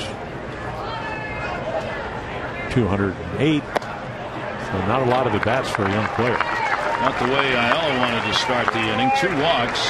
Ross will go down to second base. Lavarnway will go down to first. And Lars Anderson, the first baseman, will get a shot here.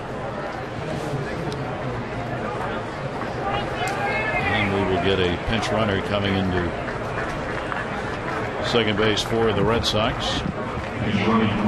Should be Pedro Ciriaco. Ciriaco running at second for Cody Ross.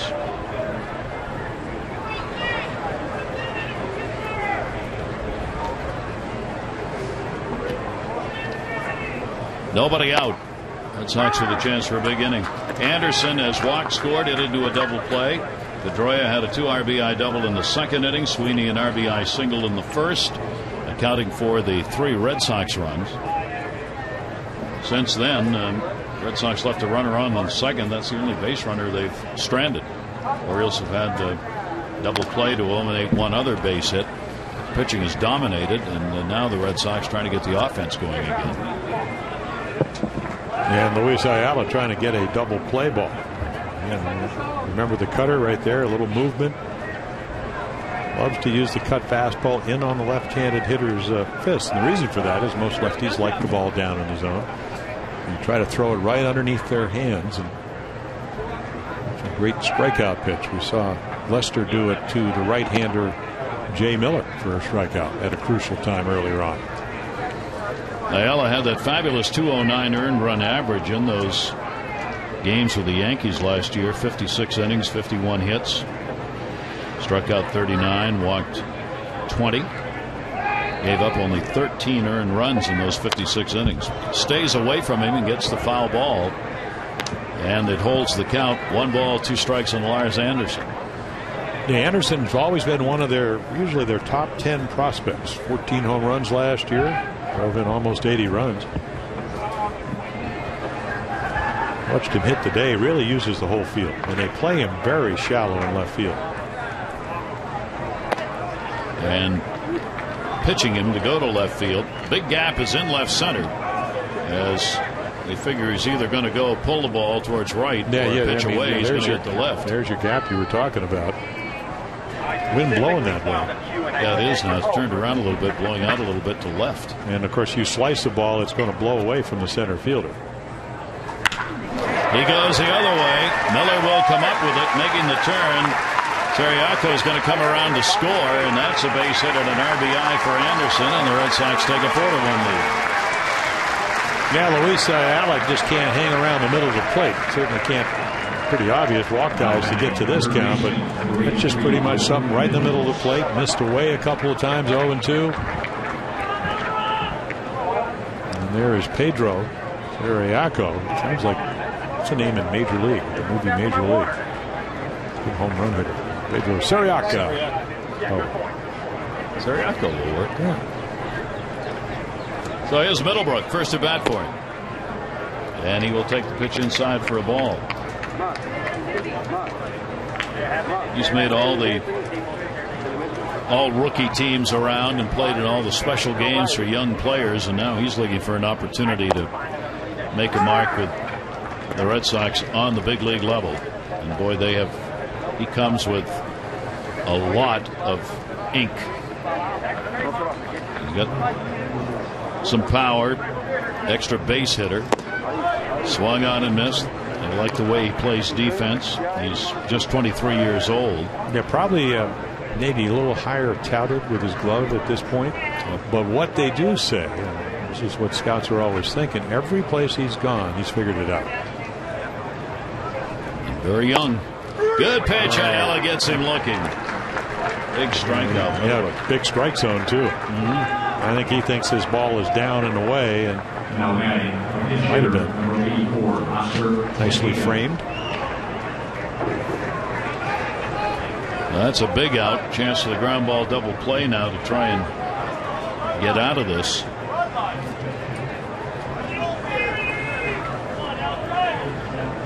Tejeda coming up. Double A ball last year. Playing in Portland, Maine. It'll be his first at bat. He's in for Pedroia.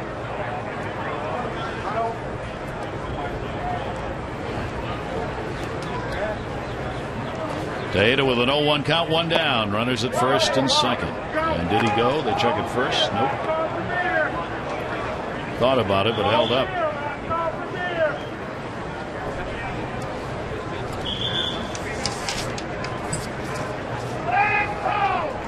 Tejeda looking for a big hit here.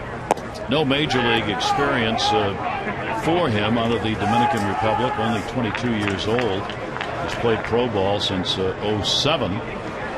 Minor league numbers 274 average, almost 2,000 at bats at the minor league level. Dropped down a little bit. Ayala gets him to go after it as it rode up. And a 2 2 count. Yeah, he drops down, hangs a breaking ball, but the speed fools the young hitter.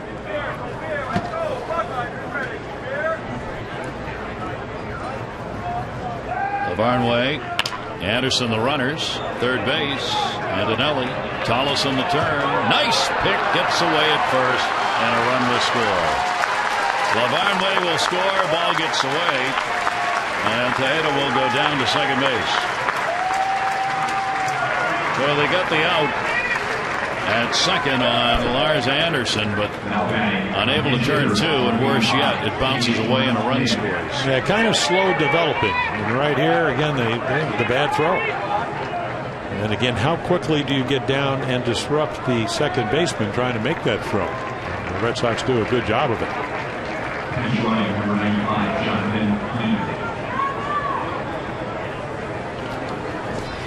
Jonathan E. is the pinch runner at second base. And Bobby Valentine getting one of the players he brought with him in the ball game. Still two down and a 5 1 lead now in another situation with the Orioles.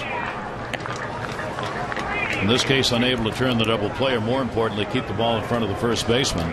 Have a mistake that allows a run to score. Second error charged. Error will be on that throw. Well, it's five to one, and there are three runs that could have uh, gone the other way if you play a little bit better defensively. And again, when you're only putting one run on the board, it's certainly glaring. Two on delivery on the way. That will go to third. Antonelli up with this one. And we'll get it over to first base for the out. But a run in, an unearned run coming on a hit at an error. And it is now seventh inning stretch time in Sarasota. This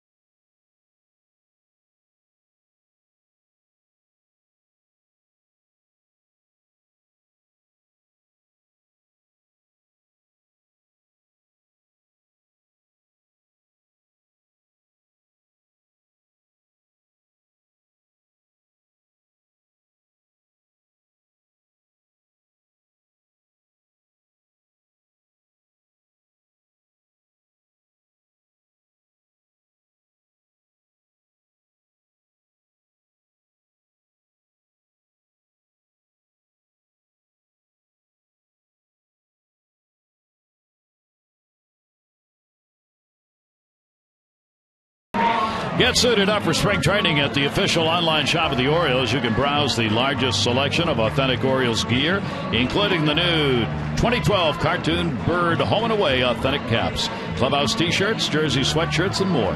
Get set for spring at the official source, the Orioles.com shop. Folks, up here at Ed Smith Stadium at the spring training home of the O's, as the Red Sox have the 5 1 lead, seventh inning stretch time. The Orioles out hitting uh, Red Sox out hitting the Orioles 8 1 in this ball game. And uh, we'll see at least a couple more pitches for each of these teams. Bernard coming on to play in center in left field for the Red Sox. Lin is going to play in center.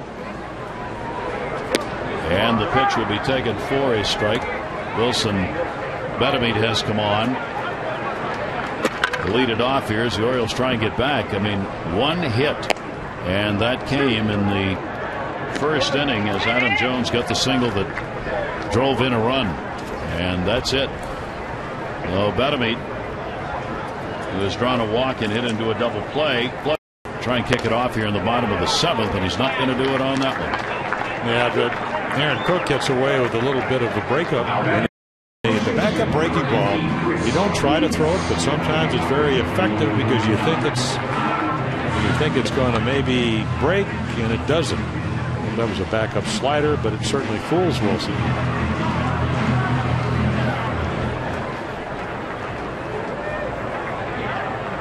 Second inning of work for Cook. And he will get the ground ball shift in the infield. Oh. And a great play made There you go. Pedro came in to pinch run. What a play this is. The shift is on, but he's playing still on the other side of second base. And tell you what, talk about a highlight play. Aaron Cook, of course, he throws grounders. He wants them caught. Pedro out of nowhere to make the play. Ciriaco coming across was well behind second base in shallow center field when he made that play. And boy, that was a beauty. The Ciriaco gets to the highlight reel. And a ground ball this time at uh, second base off Jai Miller's bat. And there is the quickest inning we've had in a hurry. A one, two, three inning. We've completed seventh. Tough getting ready in the bullpen.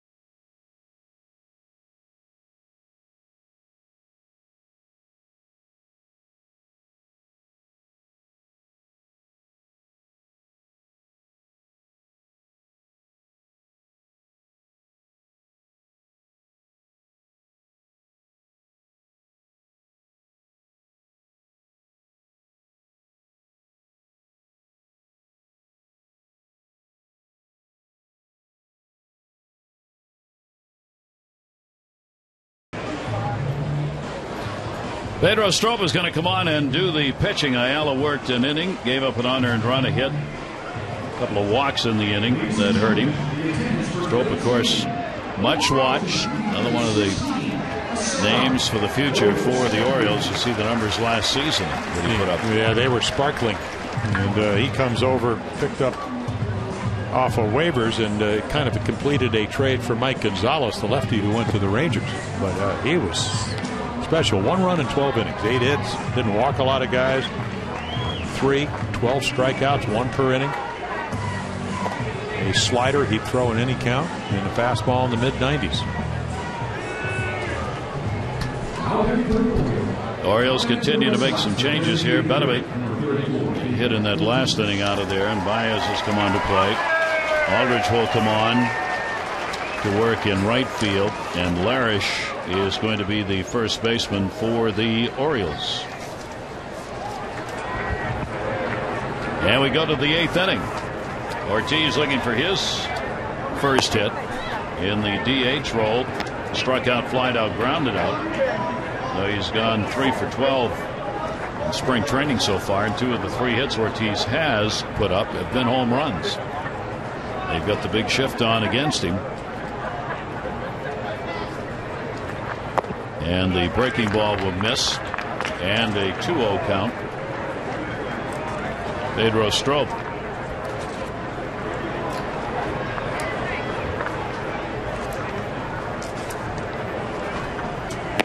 Big hmm. cut. Ortiz figured he was going to get one to hit, but good location on that one. Here's what the Orioles have had today, pitching wise. That run coming against the Orioles starter, and then all the way into the seventh inning before Ayala would give up another good work. Phillips Tillman. Well, that's the one thing Strop can do. And, hmm. Of course, last year that slider and fastball count, it seemed like he was able to throw it over at any time. And of course, when you throw 94 with good movement, you can throw it by people. Strop's third appearance of the spring. He's worked an inning each against Tampa Bay and Atlanta.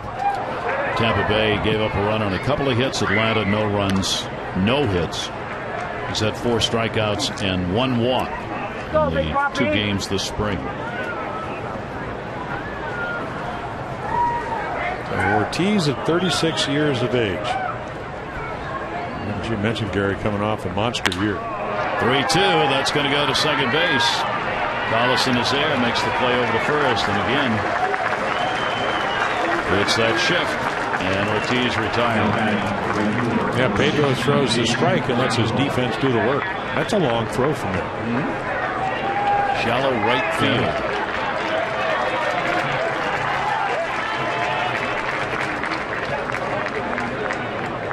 Jason Repko is going to get his first at bat. Robert Andino, who made the start for the Orioles at second base in the ball game, joining us here in the eighth as he is out of there. Strop's pitch is away. Uh, hey, Robert, first of all, thanks for joining us. Appreciate it. No problem. How's the uh, how's the spring going for you? Uh, things you're working on right now? Oh yeah, you know, the, every day, every day is a it's a battle out here. You go out there, work out, you know, and your little things you got to work on. But it's beautiful. I can't complain. Good weather. Good weather, yeah. Yeah, you're used to it coming from Miami. You know you've been working on your bunting or anything like that. I know that Dwayne Kirby had everybody out last year. Oh yeah, that's uh that's one of my main goals. Get better at that bunny. We all know how that turned out. But yeah, that's one of my main goals. Getting better at that bunny. And then you stole a base today, so we can we can I count on 20 on my scorecard for the year? That's the plan. That's the plan. That's it. That's what we're going for. Do you really do you want to run more this year yourself? Do you like doing that? Oh yeah, I think it's fun. I like it. You know, it's just another another part of my game that I gotta gotta work on and I need to, you know, get better at. So yeah, I, I'm out there every day with Kirby trying to get better. Yeah, I mean, is that what you do? Uh, it- it- Can you kind of explain to the people at home watching how, how do you get better as a base stealer? You gotta work on your jumps. The first, my my first three steps gotta be clean. Uh, you know, not spinning, clean. You know, it's a couple words you gotta put it, but it just it's just getting clean jumps. You know, you get a clean jump. You know, just use speed after that. Now, do you ever talk to Brady Anderson? Of course, you know Brady. I think stole 50 once with the Orioles. Does he ever give you any tips? Nah, Brady just he, he could be giving me tips on hitting. Brady, Brady, Brady Brady's a hitting guy for me. Well, he also hit 50 home runs, so maybe you should listen to him. Right? Well, yeah, I'm just trying to see some ground balls at the middle. I ain't trying to hit 50. Linares at the plate getting his first at bat in the ball game with the runner at first base. Robert, what's your uh, sense of how spring training has gone so far as far as the ball club is concerned? What's the feel? Oh, it's great. You know, it's still early. It's the first week. You know, just breaking breaking it in. But I think I think we look good. You know, it's just the first week. We got a long way to go, but I think so far so good. Now, the Red Sox come to town. You beat them with a double up in Boston, and you got the game-winning hit. Uh, it seemed like the middle of the night uh, that got him out of the playoffs. Did they talk to you? Did anybody say hello today? Or you, Oh, yeah, you're yeah. still on the most wanted list. It's cool. I, I hope they don't hold no grudges. it ain't my fault. So I'm just doing what I got to do. So, nah, yeah, a couple of them say what's up. Ain't, ain't nothing. That's the past. Was that one of the most exciting things that ever happened in your career? That game-winning hit off of Papelbon? Well, yeah, you you you can put it up there. You can put it up there at top three. Yeah, I know. Well, Yeah. I want to hear the other two. Come on, give me the top three. Well, How yeah. about the double in Boston? Yeah, you can say that. Anytime you anytime you can beat Boston at their place, I'll take it. Machado has to make the play over to first base as Repko was running that time. Linares is retired. Two down here in the eighth inning. So as you go through the, uh, how many uh, at bats do you feel you need in spring training in order to be ready to go? Mm, I don't know. It just, just, just having just, just taking quality at bats and having a plan where as, as you go up to the plate. I think you know that just it, it transfers over to the game. It just, just having an approach. You know when you come into the box. And the approach is going back up the middle. Yeah, trying to hit the pitcher's feet. Nah, I'm just nah, yeah, just think, Yeah. you know, just trying to stay, you know, within my game. You know, just getting on base for the big boys. Robert, we appreciate it. Uh, great moment to end the season last year, and hope you have a lot of those this year. I appreciate it. Thanks for being with us. Robert Andino made the start at second base for the Orioles in the ball game today and has scored the only run. He picked up um, a walk in the first inning, stole second, and then came home on the only hit the Orioles have, Adam Jones, who delivered the single. Pedro Ciriaco now with a runner at second base who's trying to get the third. Here's the throw, and the end with a stolen base. Repko steals it. Hester with the throw. Antonelli trying to lay the tag on. So a lot of people will be saying, why is Bobby Valentine sending a runner five to one? I'll tell you why. Because you might throw it away. Now, the, the good news, he made it, and it's close. You don't look too good if you get thrown out. We, we- some, didn't somebody try to steal home Yes. with Ellsbury at the plate with two outs and got thrown out? There you go. Got it. Yeah, good slider right there. So the strikeout recorded. Strop gets it. The strikeout and a walk in the inning, and a runner stranded at third. 5 1 Red Sox.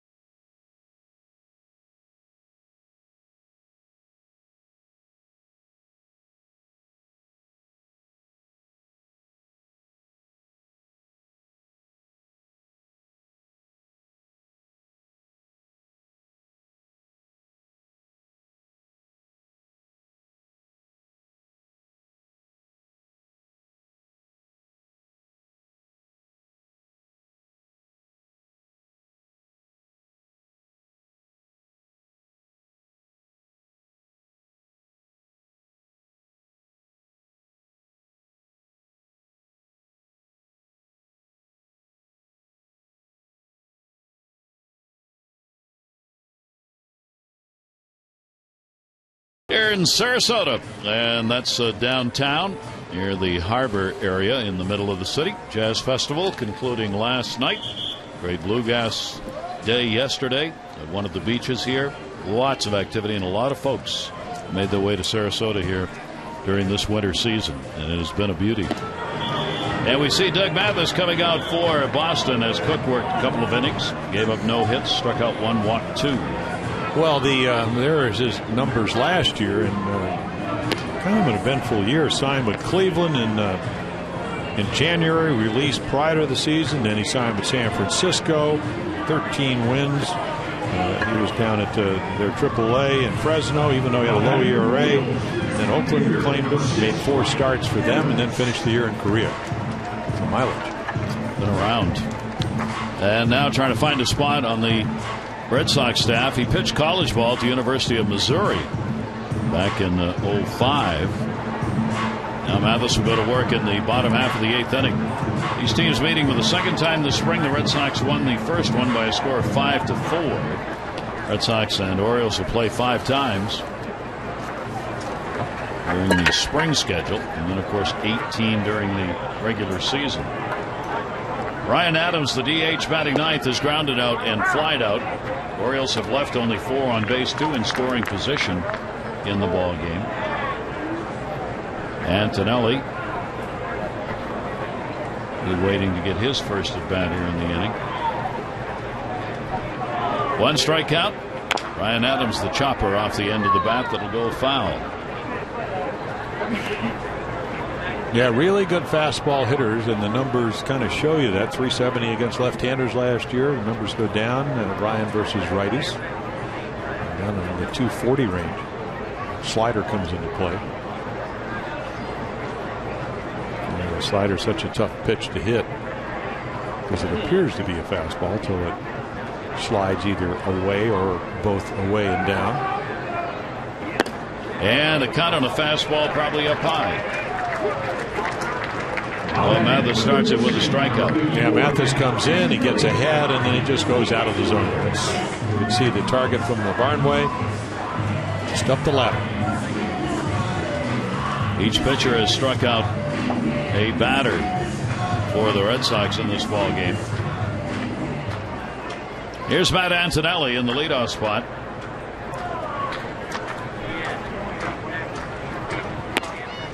And Antonelli will take it for his strike.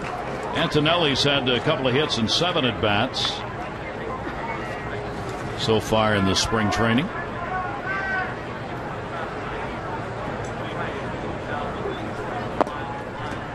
And Mathis's pitch is going to miss down low. You can really tell who the ball club's taking a look at by the number of at bats and appearances that happen, even though the players may not be talked about a lot. If they're getting a lot of at bats and appearances, and means the manager wants a look see, and Antonelli's one of those. And he gets a base hit going the other way with it. The Orioles have their second hit of the game and the first one since the first inning. Well, Matt Antonelli, I had a chance to meet him for the first time today. Again, a former number one uh, draft choice by the Padres, as is Robert Andino. He was the second round by the my you know the, the, the Florida Marlins now the Miami Marlins. So you get some guys with again good natural ability, and they just have to figure out how to hone them into baseball skills. Like this youngster that walks to the plate. Xavier Avery, and this is his first at bat. He goes to first. That's going to be knocked down, and the play will be made at first. No chance at second base. Antonelli goes down to second. Hard hit ground ball, and Gomez able to knock it down, hang on. Well, that's what you try to do. You try to get a ball you can hit by the first baseman, but uh, Gomez is able to get into it, even though it's hit sharply. Ariel Gomez playing two games today. He's another player who was in the B game, played earlier. Played first base there as well, started, in fact. Here's Manny Machado.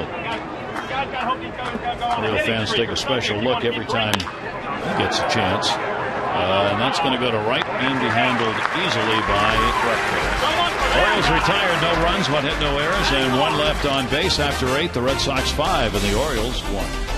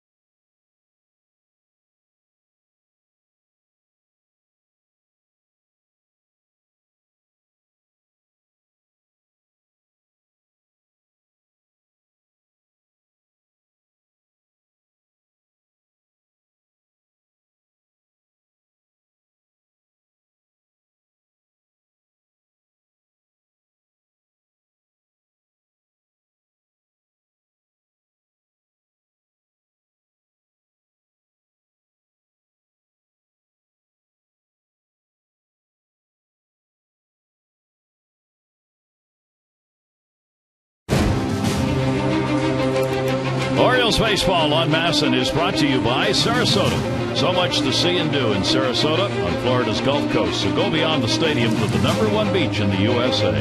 Visit numberonebeach.com. Big crowd on hand here at Ed Smith Stadium in Sarasota for the ball game today.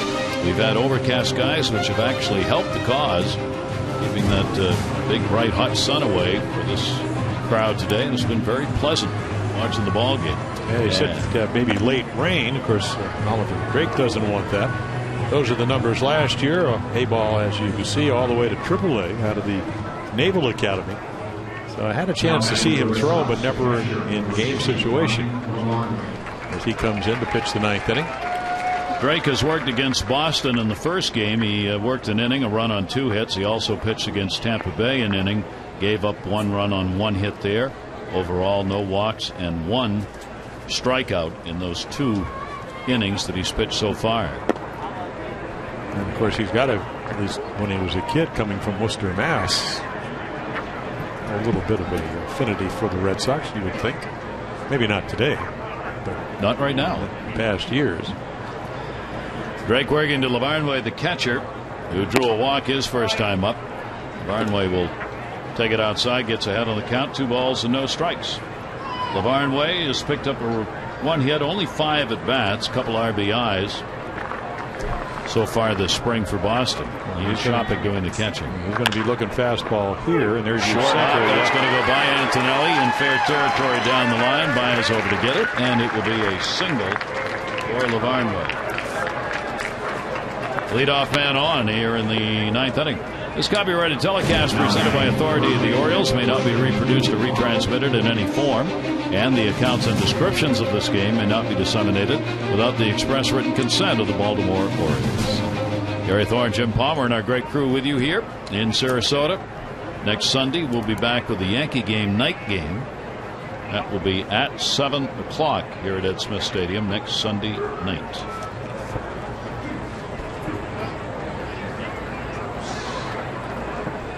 Mario Gomez, and he fouls that one off. Gomez getting his first at bat.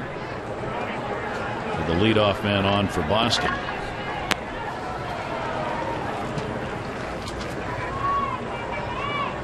Gomez, not a lot of opportunities in the A games. He's played, uh, in fact, entirely in B games prior to this one. 0 1 delivery to it. Pops it up. Second base, Collison. One down. Yeah, big difference when you can get ahead of the count. Lavarnway looking fastball after he got the hitter, the count in his uh, favor, able to hit it a little bit more sharply. That'll bring Middlebrook to the plate. Came on to play third base. This will be his second at bat. He got called on on strikes his first time up. And a cut, and he's got a base hit into left field. So Middlebrook not waiting. He got one up in the strike zone that he liked the looks of, and he's on with a single. Yeah, most hitters will look fastball and make a make adjustments. You know, if you hang a breaking ball, you can still hit it. He just gets one up. Oliver Drake better down in the zone because the ball is going to sink.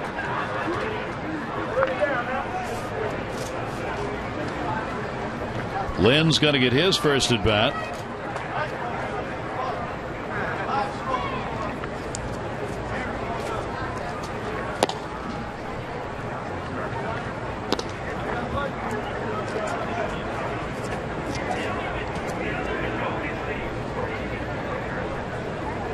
He has not had an appearance at the plate in the ball game, and he will foul that one back. Jonathan Hee and uh, even in the count up on the fly ball, one ball, one strike.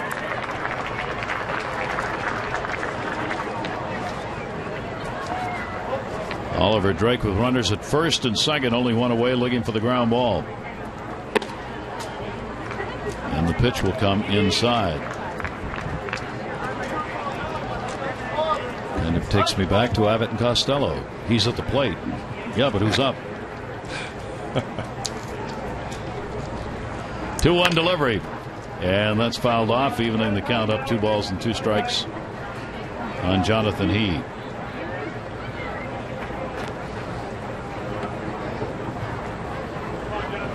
A lot of these players from uh, overseas showing up in the major leagues have been seen in the Major League Baseball Classic, which is going to be renewed again next year. And that pitch just misses. Pretty good off speed delivery right there. And the count goes to three balls and two strikes. Hee out of the University of Hawaii, which is where he is from. He's in Honolulu. That's his home. Fifth professional season, 241 minor league average. And that is a fair ball. That's going to get an RBI, at least one. Lavarnway will score. Baez plays it in. It's a double. stopping at third base is Middlebrook. So he delivers, and it's a 6 1 Red Sox lead.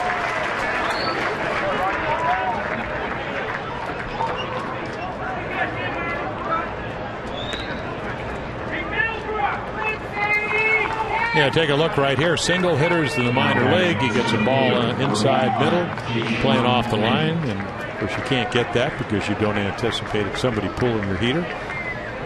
So a routine ground ball, just well placed down into the corner. And they'll play the infield in, even though you're trailing by five. And this will be Lin's first at bat. The Orioles will use it as an opportunity to practice trying to cut off the run. Only one away, runners on at second and third. 11 hits now for Boston on the board. And Lin, an opportunity for a couple of RBIs if he can pick up a base hit right here. Red Sox, as we said, have, I mean, they led the world offensively last year during the regular season, and this spring they've kind of picked up right where they left off. One ball, one strike delivery. Infield still in. Lin pops that one up shallow right. Runner will tag. Middlebrook at third. He's not going to go. Throw comes in to cutoff man, and there are two down. Alex Hassan, double A, last year for the Red Sox. Some pretty impressive numbers. Yeah. Yeah, stole some bases, hit 13 home runs, nine points shy of 300. Again, only in his third year in professional baseball. Only 24 years old. Well, college guy, Boston College. Yep. Hassan pops that one up second base. Collison is there, and he's got it. So the Red Sox will add a run here. They do it on three hits, leave a couple on. We go to the bottom of the ninth inning with the Orioles down six to one.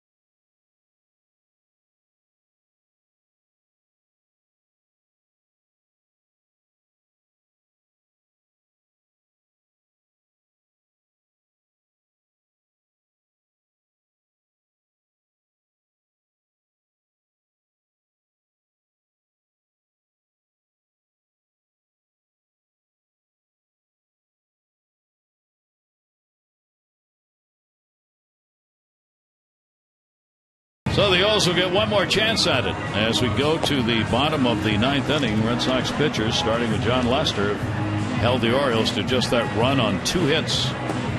Justin Germano will come on to do the pitching last season with the Indians for nine. Yeah, he's been in the big leagues on a number of occasions. San Diego 2004, Cincinnati 2006, back to San Diego 7 8, and then the Indians the last couple of years. But not a lot of appearances, but again, you're still around, you're still under 30. Get an opportunity to uh, finish this out. Tolleson will be ready to come to the plate for the Orioles. Oriole bats have really been held down in this game with just two singles. Adam Jones first inning brought in a run and then all the way to the eighth inning before they got another one, a single by Antonelli.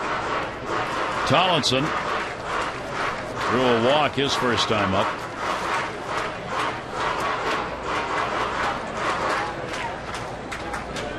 Red Sox trying to take the second of five against the Orioles this spring.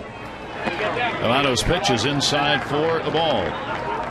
Tolleson and spring training invitee, 28 year old. Yeah, does a lot of things well. Does an overswing, line drive hitter. Dad played in the big leagues. Not a lot of big league experience for him, only 25 games. That came with Oakland in 2010. 1 1 delivery. And Tolleson down to third, kicks it off with a base hit. Will be chased into the corner. Tolleson will make the turn. He'll head to second base, and he's on with a double, and the Orioles have their first extra base hit of the day. Well, everybody yelling, give them a finish, and that's what the Orioles are going to try to do. Just fastball over the bag. Kind of up a little bit. Again, playing off the line, percentage baseball.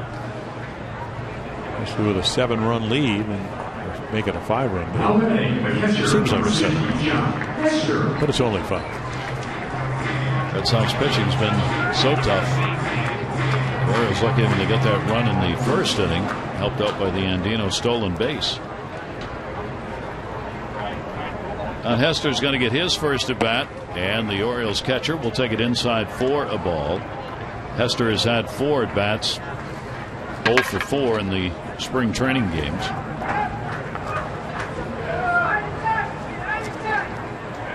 Another invitee to spring training. Pitch is taken for a strike. Hester, 28 years old, major league experience with the Diamondbacks for some 53 games in 09 and 10. Last year, after the Orioles acquired him, he played at Norfolk, coming over in the uh, Mark Reynolds deal. Breaking ball, that is in there for a strike. Nice soft off speed delivery. Yeah, that'll get your attention. It's the first one he's thrown. And then he drops it over for a strike. And Hester behind on the count one and two. Tolleson off second base. Breaking ball in the dirt. Lavarnway with a nice stop. Well, those are the little things you're talking about. We're talking about a young hitter that comes out of Double A and Triple A. He's a catcher.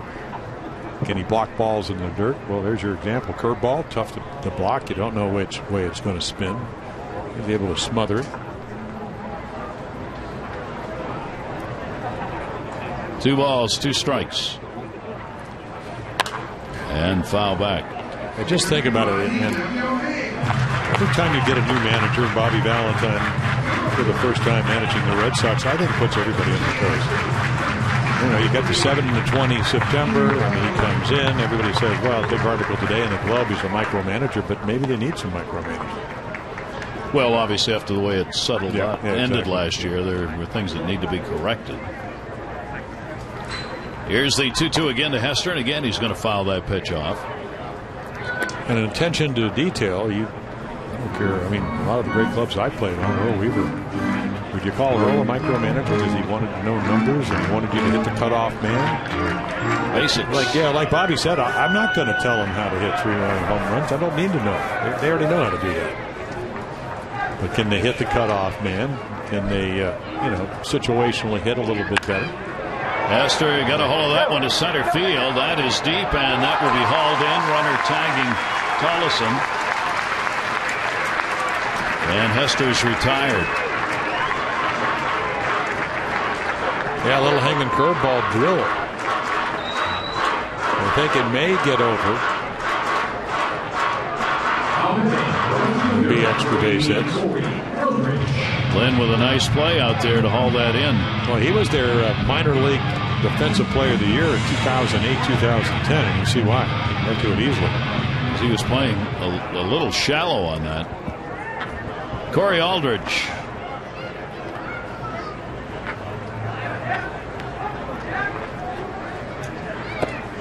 And the pitch is away for a ball. Runner at third base, one down here in the bottom half of the ninth inning. First at bat he's had in the game. I get a little nervous when I see somebody that looks like Al Oliver. He hits a line drive somewhere, then I'll really know Really he's like. Al Oliver. Well, Oliver, of course, I think close to 2,800 hits in his career. The Pirates and the Rangers.